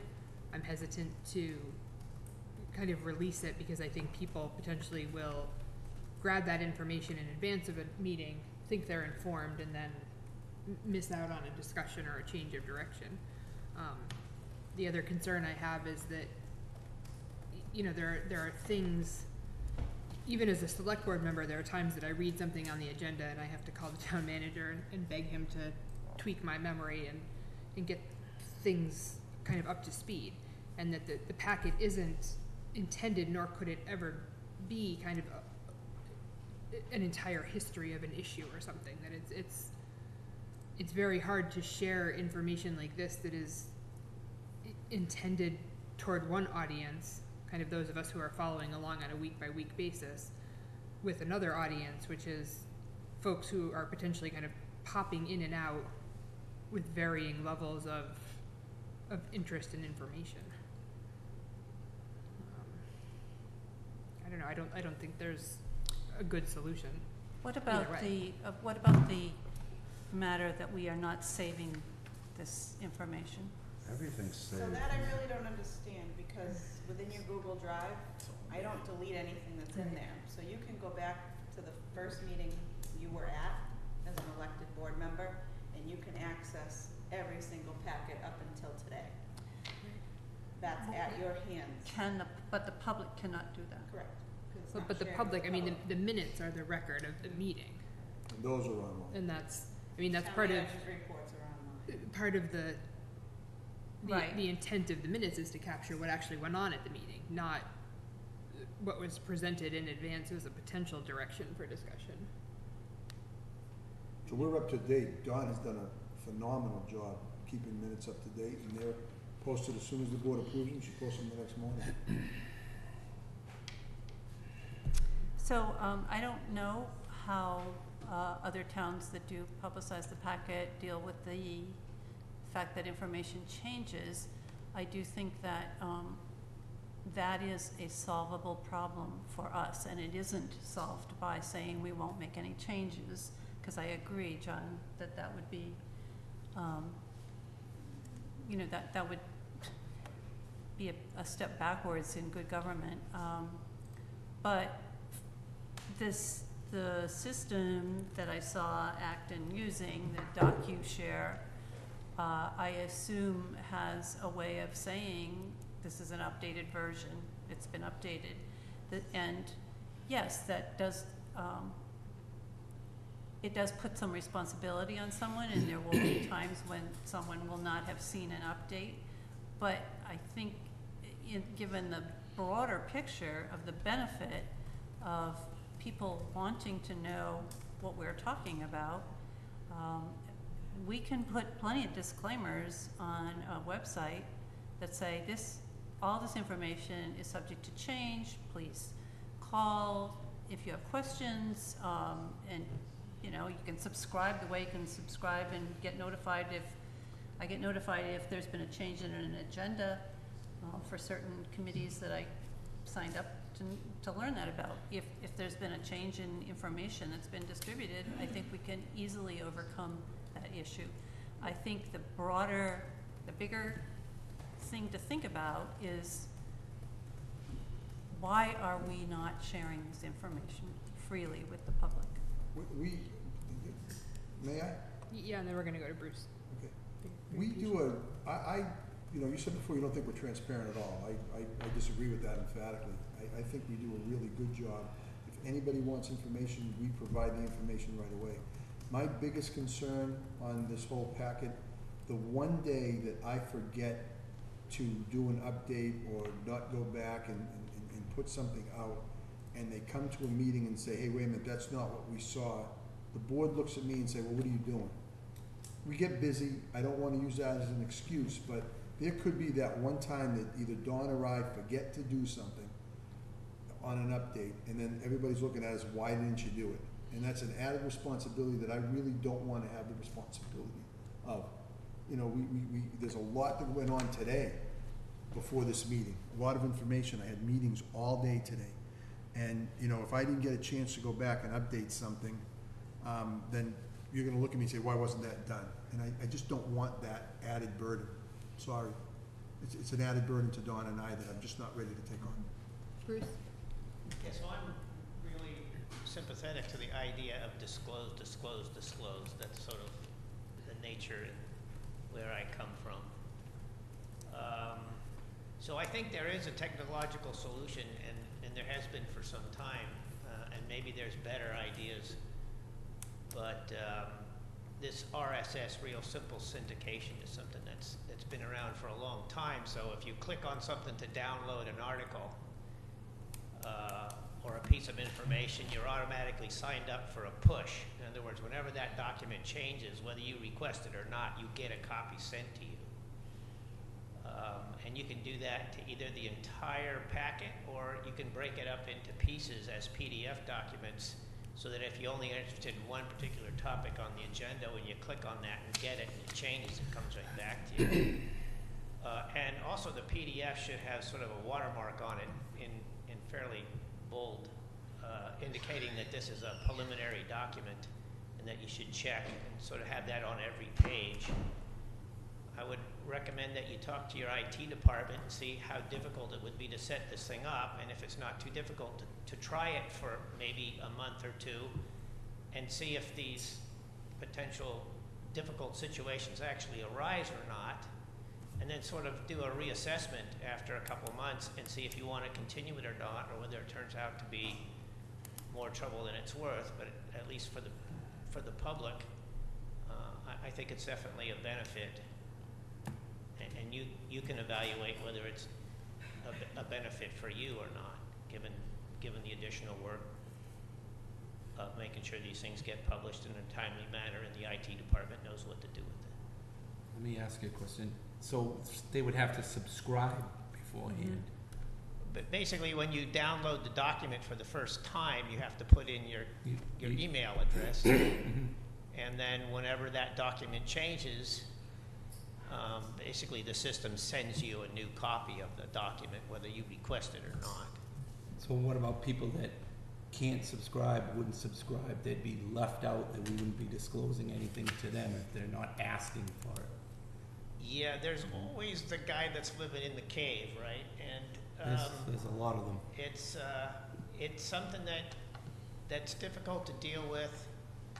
Um, and, um, Or, or maybe someone that's not internet savvy, like a senior, or, uh, yeah, if they basically, can't subscribe, they're not gonna get it either. yeah, basically. I mean, if we're gonna do it, we better do it for everyone, right?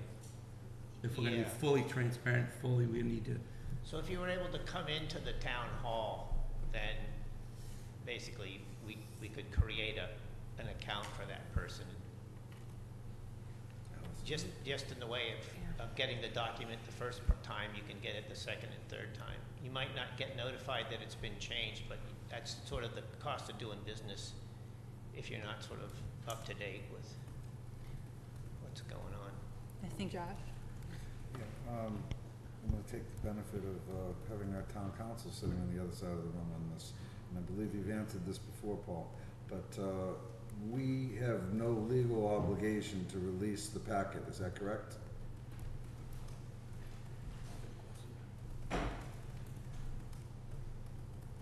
What, in advance of the meeting? Yeah, I was gonna say, ultimately, these are public records. Absolutely. If you're use it at a meeting, you have to produce it, but you do have ten days to produce it. So if someone gives you a public records request on a Friday, you don't necessarily have to give an answer on a Monday. So the answer is ultimately you have to produce what you used at a meeting, what was given to you, those kind of communications. Not the stuff in executive session. And, and very, That doesn't require you post a packet or not post a packet. So, one more question. Um, you also serve as a selectman in another community, is that correct? Indeed, eight terms. Do you release your packets in your community in advance of the meeting? We take the position it's not an all or nothing. In other words, you're, you're debating here, do you release the packet? Do you not release the packet? There's a lot of stuff, you know, a letter from Verizon, uh, a, a statement from DEP that they're going to be doing X, Y, and Z, or mosquito spraying. There's a lot of communications, but why would you hold back and not give it to the public? On the other hand, this, this stuff that the town administrator is working on, we consider, and there's an exemption under the public records law for policies that are in the process of being developed. So some of the town administrator stuff, we don't put into the packet because he's working on it. So in that town, we don't say everything gets released, and we don't say that nothing gets released. We release eighty percent. Could I follow up with another question Yeah. for Paul? Um, Between you and your fellow um, members of your firm, uh, you deal with several, with a number of other towns in Massachusetts. Can you just give us a sense of what normal practice is on this question?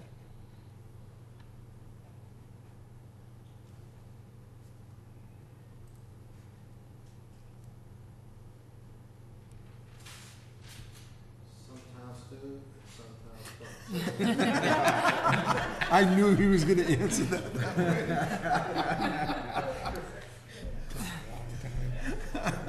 that was awesome.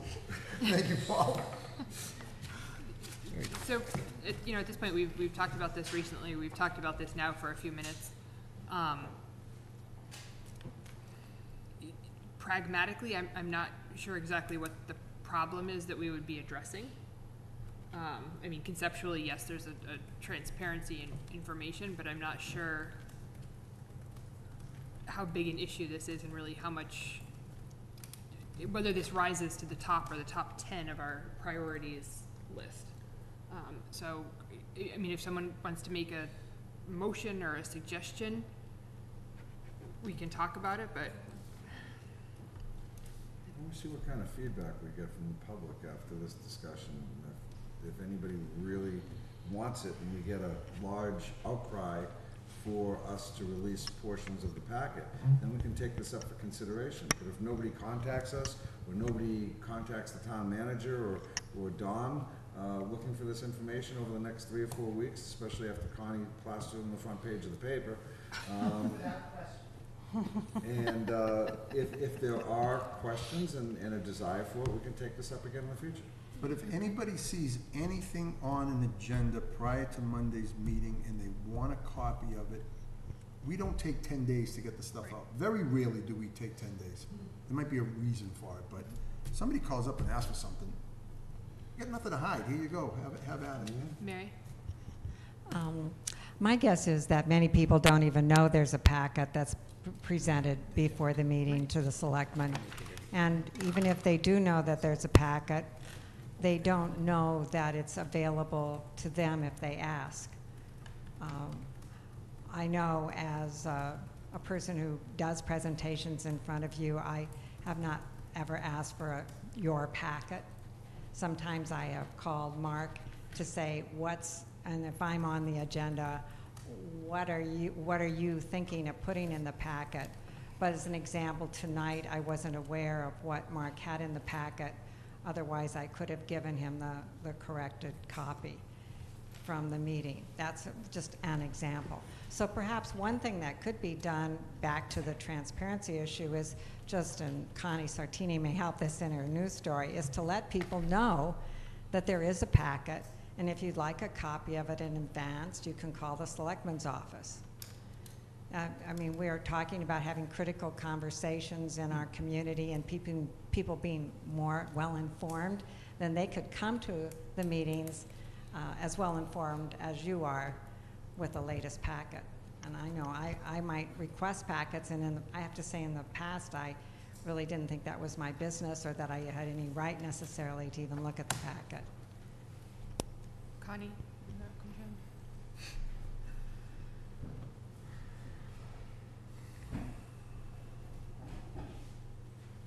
As someone who would benefit, I'm Sartini from the Groton Herald, as someone who obviously would benefit by learning some things early.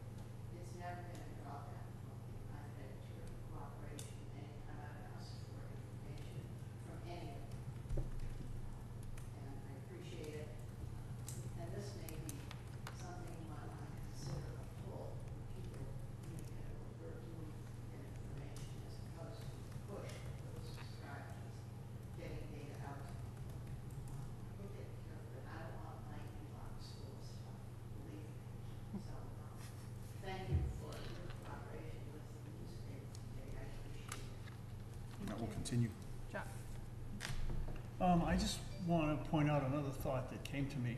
If the select board starts doing this, that is, putting the packet out, does that mean the community therefore expects that every committee will be putting their packages out? Now, we, now we become a paper factory. Uh, and the administration of, and I've worked with systems such as Bruce described, and, and they're very good, but they're generally on a team of people that are working on a project. And when the project's over, that thing just gets uh, archived and, and, and it's over. Where what we're talking about here is people would have to want to call in and say, gee, I don't want to receive that anymore. And somebody administratively would have to pull them out, or it could be automated if they, if they, you know, it depends how much you want to spend on the, on the, the, s- the system. But that's also a consideration here that I, I think we should think about, because it really does create a significant amount of work administratively to, well, um, be the administrator of that system. So, So um, I would just, I think Bruce's suggestion that uh, a conversation with the IT department might be useful in that, and, and with the board's permission, I would like to have that conversation with, with Mike Chason um, to explore, because a couple of years ago, I know um, the board, before I was on the mem, before I was a member of this board, had repeated requests for some sort of notification, some sort of email notification, and Um, And that got created, and I think it's been quite successful. So like I said, you can, and maybe not everyone knows this, but you can go on the town website to, the- I think it's called the Control Center or the Meeting Center or something. You can sign up to get notifications if you want them of when, um, and you can do this for any committee in town, when a document is posted to the website, when an agenda is posted to the website, when there's been a change to an agenda for that particular um, committee. And um, it was, I know it was asked for repeatedly, it took a while, and then all of a sudden it happened, and it works very smoothly. I know a number of people who rely on it and, and use that system, and it doesn't take any um, administrative time. So I guess I, I personally would like to get a little bit more information. It's not my intention to burden anybody with, with more work than is necessary. But if there is an easy way for us to move in the direction of releasing uh, certainly more of the information, maybe the stuff that has, is not likely to change, um, and, and to inform people that there is a packet. And, and in fairness, John, I don't believe that most of the other committees in town have the kind of, and the volume of, and the depth of information presented to them before meetings that we do. Um, and I think the stuff that we are discussing may be, um, of more important, of more significance and more important to more of the population than, Having served on others. three elected positions over the last twelve years and dozens of committees, let me tell you, you go to a planning board meeting and the pre-reading is a binder of about three Right. inches, I- okay? More than I one understand that, yes. Yes, absolutely, because it's full of drawings, it's full of all kinds of things. So let's not oversimplify uh, what the burdens are in other groups where we haven't resided and walked in those Indian moccasins. That, that is true. I did have a family member who did that, so I know. Um, But correct me if I'm wrong, a lot of those uh, plans and all, uh, there's, there are separate uh, requirements for where they have to be publicized beforehand. I don't know what that means. Can we just give it a month and see what the public has to say, and if we need to revisit this, we will. I mean, I suggested that fifteen minutes ago. It's nine o'clock at night, we have other things to cover, and I think we beat this rug pretty clean tonight. I'm willing to move on. Just a I will suggestion. report back to the board if Can I you get guys just let inundated. us know if there's a Yep. sudden, And please let me know if you get inundated. Yeah. And that doesn't mean the same person calling you thirty times. all right. I had to make a little joke, I'm sorry. So the, the next item on our agenda, equally scintillating, is the select board email address. Um, currently, we talked about this a little bit last week, I, the last meeting, I think. Currently on the webpage for the town, there is one selectboard at townofgroton.org email address. It's clearly called out that that comes in to the town manager, who responds to things that are within his purview. He shares those requests and responses with us I don't think it's a, a tremendous flow of information back and forth. Um, and then there are, with our pictures or the space for our pictures, all of our individual email addresses are there, so that if someone wants to reach out to one, one of us or one at a time, they can do that. Um, part of the concern in the past around the select board email address has been inadvertently creating kind of open meeting law violations or, or snafus. Um, when we all get excited and start responding to things, so. Um, I think we, we had tabled this to this week so that Josh could be here and partake of this conversation. One thing I want to point out, Alison, before you get into that, Mhm. is um, Becky had pointed out on the town manager's page, and I believe we corrected that. Yeah, thank Where's your picture, Dawn Dunbar? They lost it. They lost your picture? It's with mine, it got lost too. Yeah. Dawn and I'll go together and get a picture. You had a one of these picture days. taken, Don. All right. Yeah, So thank you for making that fixing change, Mark. Yep. That's certainly better. Um, so I, I don't, I don't know, Becky, Jo- I don't know who, I have no current concerns with how this is put forth or handled, so I'm not sure what we're going to talk We, about. we've talked about this over the years at, at Yes. various different times.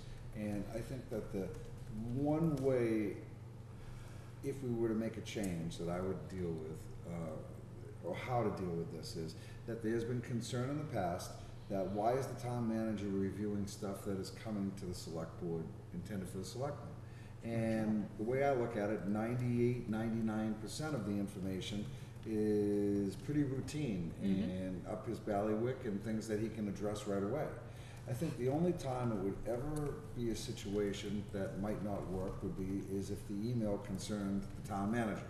So as a way of dealing with that, maybe we could put something in the information page for the select board for contacting us that would say, if this concerns, uh, the town manager and you don't want him to read the email, then send the, the email will get sent to the chair of the board of selectmen or the select board at the time. Doesn't that do it right there? It's pretty clear in red. You send something to select board at townofgroton.org, it's coming to the town manager. Right, but I think, I th- listening to what Josh just said, I, I think there are times when someone may want to contact us, um, and for whatever reason, and this isn't personal to you, Mark, I understand. that they want to contact us with a comment about the person in the town manager's role, so they don't want that email to be read by the town manager. And rather than suggest that they write to all of us individually, perhaps it should say, like what Josh just said, uh, if you're, if you have a concern about the town manager, you don't want your email to be read by the town manager, please contact the chair, whose address is below. I think that, that would be a good addition. Could that person not send it to each select board member or all five or three or? We've gotten into trouble over the years. Well, they certainly with could, but, but the answer is yes, they certainly could. Um, If they copy us all, we're still in, we, we can't, we have to be really careful about responding. Um, And didn't, is there some policy about, We have a policy in terms of responding um, to individual members of the public as an individual board member. And um, I unfortunately was caught up in some drama a number of years ago over a situation like this, and as a result of that, um, we put a policy together. So I guess all I'm saying is, is that if there is a concern and somebody wanted to address an issue about the town manager, and again, Mark, this isn't about you, it's about whoever occupies the town manager's position, that by saying, uh, if you want it done confidentially, uh, then you should send your email to the chair of the board. As So- simple as So that. if we add to the And red that's in our section, policy. if we add to the red section something that says, I get it. if you prefer to bypass the town manager, simply email the chair, I mean, It just Yes, something that would be si- great. I a think that would be simple fine. line. Well, I think that would be, I don't think So we're- bypass is we're quite the right, advertising, but- we're advertising. Why have a town manager? hey, if you want to, nobody's if you want saying to that, talk Mark. no, Mark, it's not a personal. select board It's- member, It's hard for it not to be call taken that personal. select board, I have to be select board member, or send them email, or, but then where are you gonna make the phone numbers and the email addresses and available to Uh, people? Understood, I mean, I, I think it, You know, we could modify those pages where it now shows the term of office and who it is and who's a member and who's a chair. That's a piece of software that's been around quite a while, uh, and I don't know how malleable it is, but, um, assuming it is, you could add those, that information into that little matrix, contact information. Are, are you talking about this page that's on the screen, John? Beg your pardon? Are you talking about the page that we're seeing on the screen? I'm not sure. No, I'm talking about a page where you go and you look up select board, Uh-huh. and it shows all our names. right there. Well, this is There it. it is. This is it. Select board page, your This is it. Right. And- That's what I was suggesting last week, that where it says contact information, and then it shows email as the select board, you know, I think it would be not, it would be useful, it would be helpful to say, you can also contact the individual members, see their email addresses below. We can add that. That's simple. But I think the That's piece all. that Alison just suggested up there in the red, if, it, something that says if you wish to confidentially, you could, you can con- contact the chair confidentially directly at her address. I don't think the word confidential No. needs to be in Or there at whatever all. it was you said. I, I mean, I think if, if, just like I had said before, if, if putting a note that individual contact addresses are below takes care of it, I, again, I, personally, I feel like we're Yeah, you may addressing a also- problem that doesn't exist. You may also contact select board members at their individual email addresses, which are listed below. You could say that in the red. Are you guys comfortable Can you adding that? just put- can This you is add that to really the not red? That'll solve a the good issue use right of there. anyone's time currently. All right, Done. thank you. See, that was easy. So in our Sort of. packet, we have three Page items 28. left. Um, coming out of our conversation last week, or the information that we got from the Board of Water Commissioners, um, I, I talked with Mark and I drafted a letter that you can read, um, i- i- around kind of my concerns and, and it's, it's a difficult situation in that the water commissioners are an independent elected entity of their own standing. Um, they don't report to the select board, we don't issue them direction or a charge or anything else. Um, so my concern was in clearly letting them know that, you know, that communication is something we value and that we're happy to help them communicate with the public in any way that we can. Um, letting them know that it sounds like there's going to be a, a significant cost to remedying this situation, and that as such, we and the town manager and the finance team need to be kind of up to date as, as frequently as possible. Um, and then lastly, kind of e- passing on the concerns that I've heard from the community around the, the delay in making this situation public.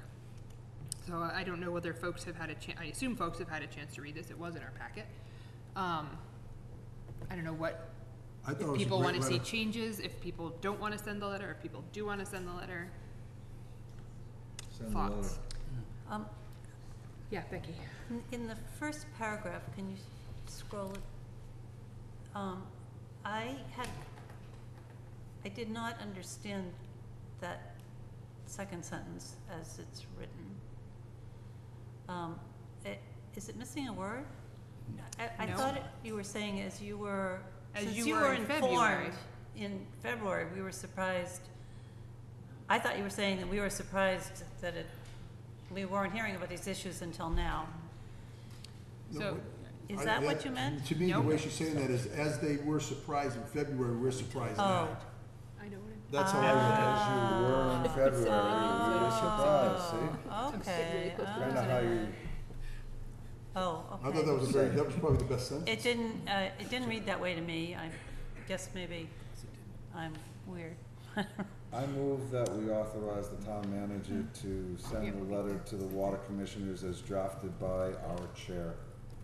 I'll second that. Okay, further discussion, John, I saw your hand up. Thank you. Sorry Um, about that, John. I would like to see included in this letter, something to the effect that asks that as they, as they look at these different Alternative. Alternatives, Mhm. right? They run an Excel program that makes projections. If you go with this solution, this is what the rate per gallon is gonna be for the town. So that we can see what the impact is, because it's conceivable to me, if they're looking at solutions, the impact of which are gonna cause people to shut off the water and dig a well, we're not going in the right direction. So that model, as they develop this, should look at the impact to the subscribers, and then there's an impact to the town financially, um, in these solutions, and that ought to be mapped as you look at each solution. I can Are add you- that, Alison, with your permission. Some Yeah, words to that that's fine. effect. John, again, I, maybe I'm misunderstanding. You're talking about the impact as in the change in the reading? Or are you If talking I about the increase cost? the amount of money that the enterprise fund for the water department in the town center here, um, it means they have to break even at the end of the year. Mm-hmm. Doesn't go to the general taxpayer. It, it does by default, but it's not supposed to. So if they go and spend umpty ump dollars, they have to go and adjust how much they charge per gallon to make their books balance. Okay, so you were talking about the, the financial impact. I thought you were first talking about how much of a change in the, in the reading for manganese they were. No, I'm talking about the impact on what a subscriber would have to pay for a gallon of water. Let's not how I read that. Maybe I'm reading the paragraph. See, this is why we go to this in advance, so we can have a chance to look at it and understand. Leave now. Because if I had this in advance, I can't read it and comprehend it and listen to the conversation at the same time. It's too confusing. It would be totally useless. Now that I have For the it, next two months, we should all send Bud the So, packet. it Get says, six copies a week. based on what John just said, that s- paragraph, that last one is showing right there, it says the cost of remedying the situation, blah, blah, blah, blah. It says, we understand that you have retained, no, no, no. Yeah, I've retained a consulting No, engineer. no, no, where, what happened, the, the point, oh, right there, the second sentence of the first real paragraph there, the cost of remedying the situation appears to be in the millions of dollars and will likely impact the ratepayers and the community in general. To me, maybe that's not how you wrote this, to me, to me, that, as, as I read that, that means it's gonna be a potential shared cost between the ratepayers and the town, just like Lost Lake Water was. That's how I read that. Lost Lake Water? Lost Lake Fire Suppression. Fire suppression. suppression, that was, that's a Lost Lake specific million dollars, but they Right. couldn't afford it, obviously, by themselves, so the town, because it was a safety issue, said it's the right thing to do for the community.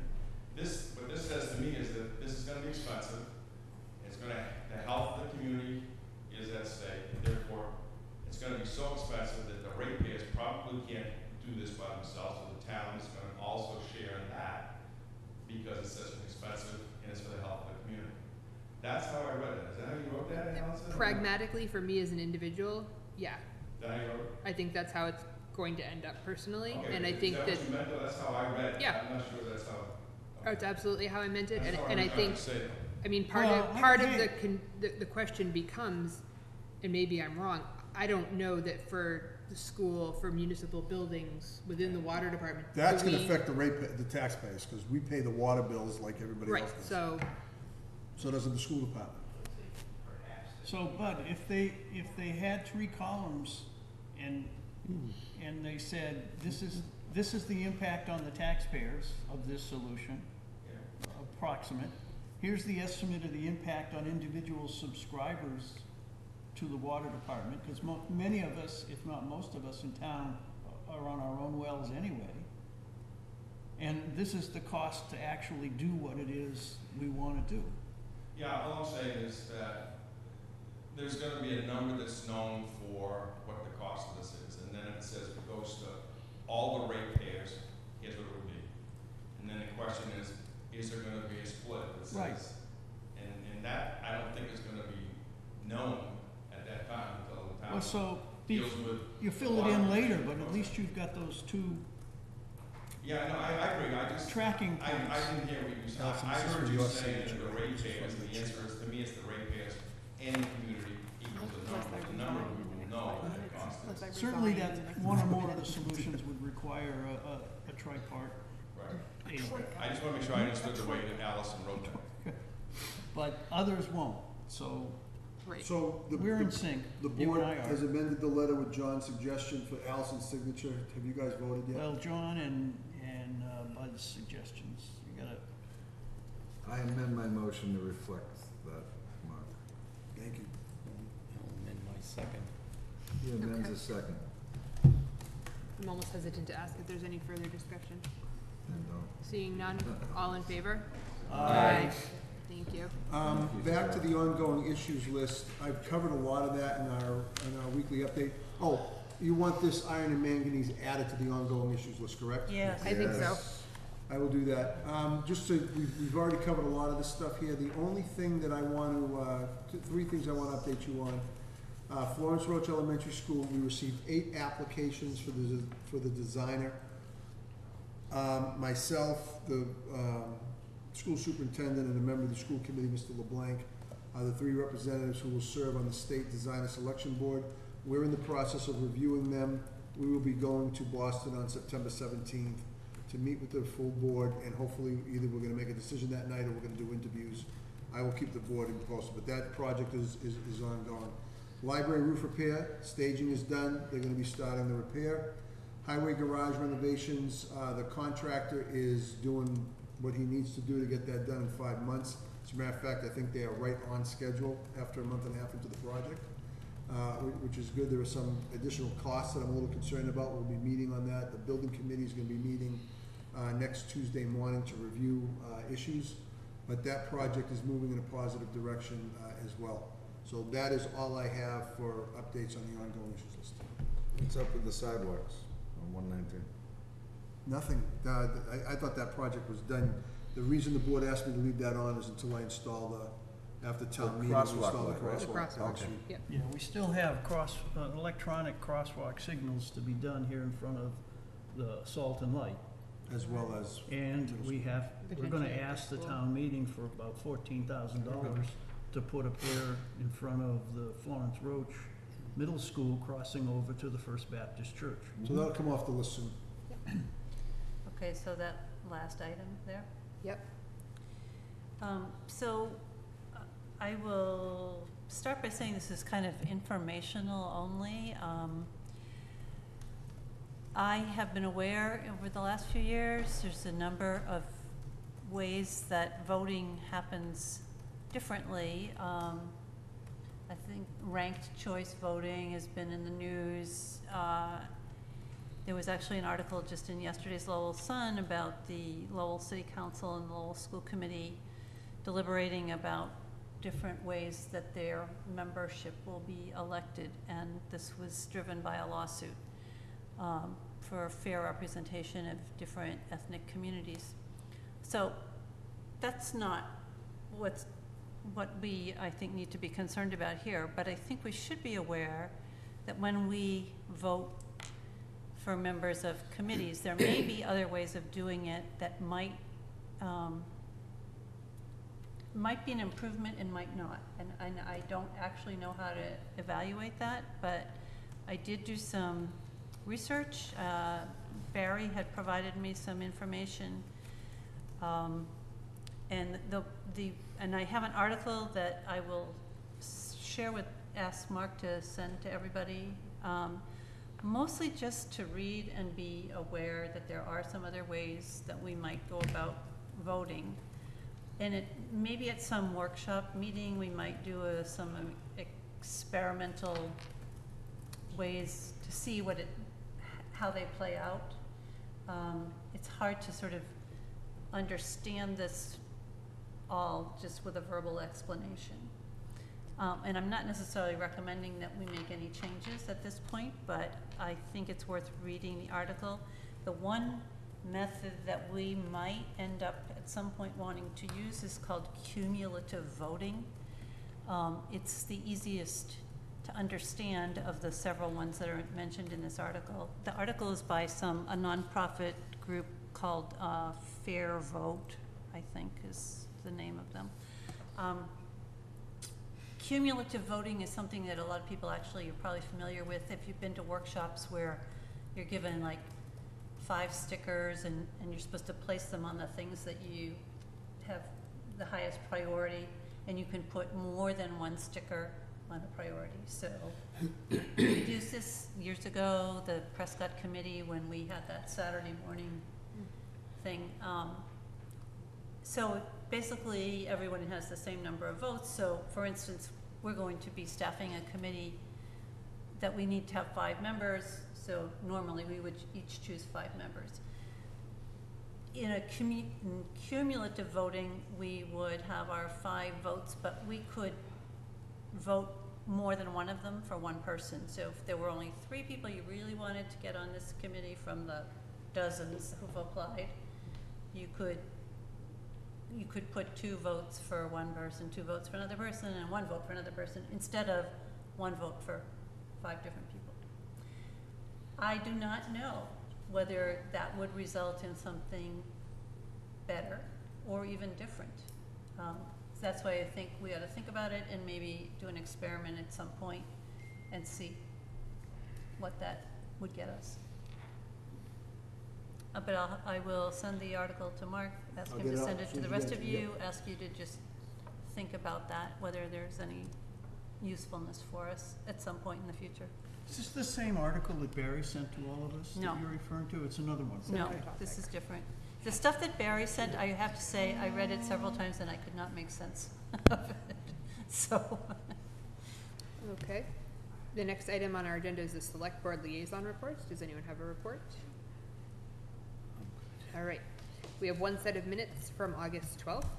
I don't know if anyone had any corrections or changes. If not, I would entertain so a motion. I did send one suggested addition. They're Is in the that packet. in the packet? Okay, good, because I didn't bring a copy. Um, this was on the, uh, discussion about the manganese issue. And I just thought that, um, so it shows up on page two of those minutes in red. Dawn put it there. The sentences that I suggested we add said, board members asked questions about the possible solutions being considered by the water department and also about the estimated cost of seven and a half million dollars. I thought that the price tag should show up in the minutes. I would entertain a motion to approve the minutes as amended. So moved. Is there a second? Second. Okay. Any discussion? All in favor? Aye. Very good. Abstain. Abstain. Very good. Then we are adjourned. Thank you, everyone.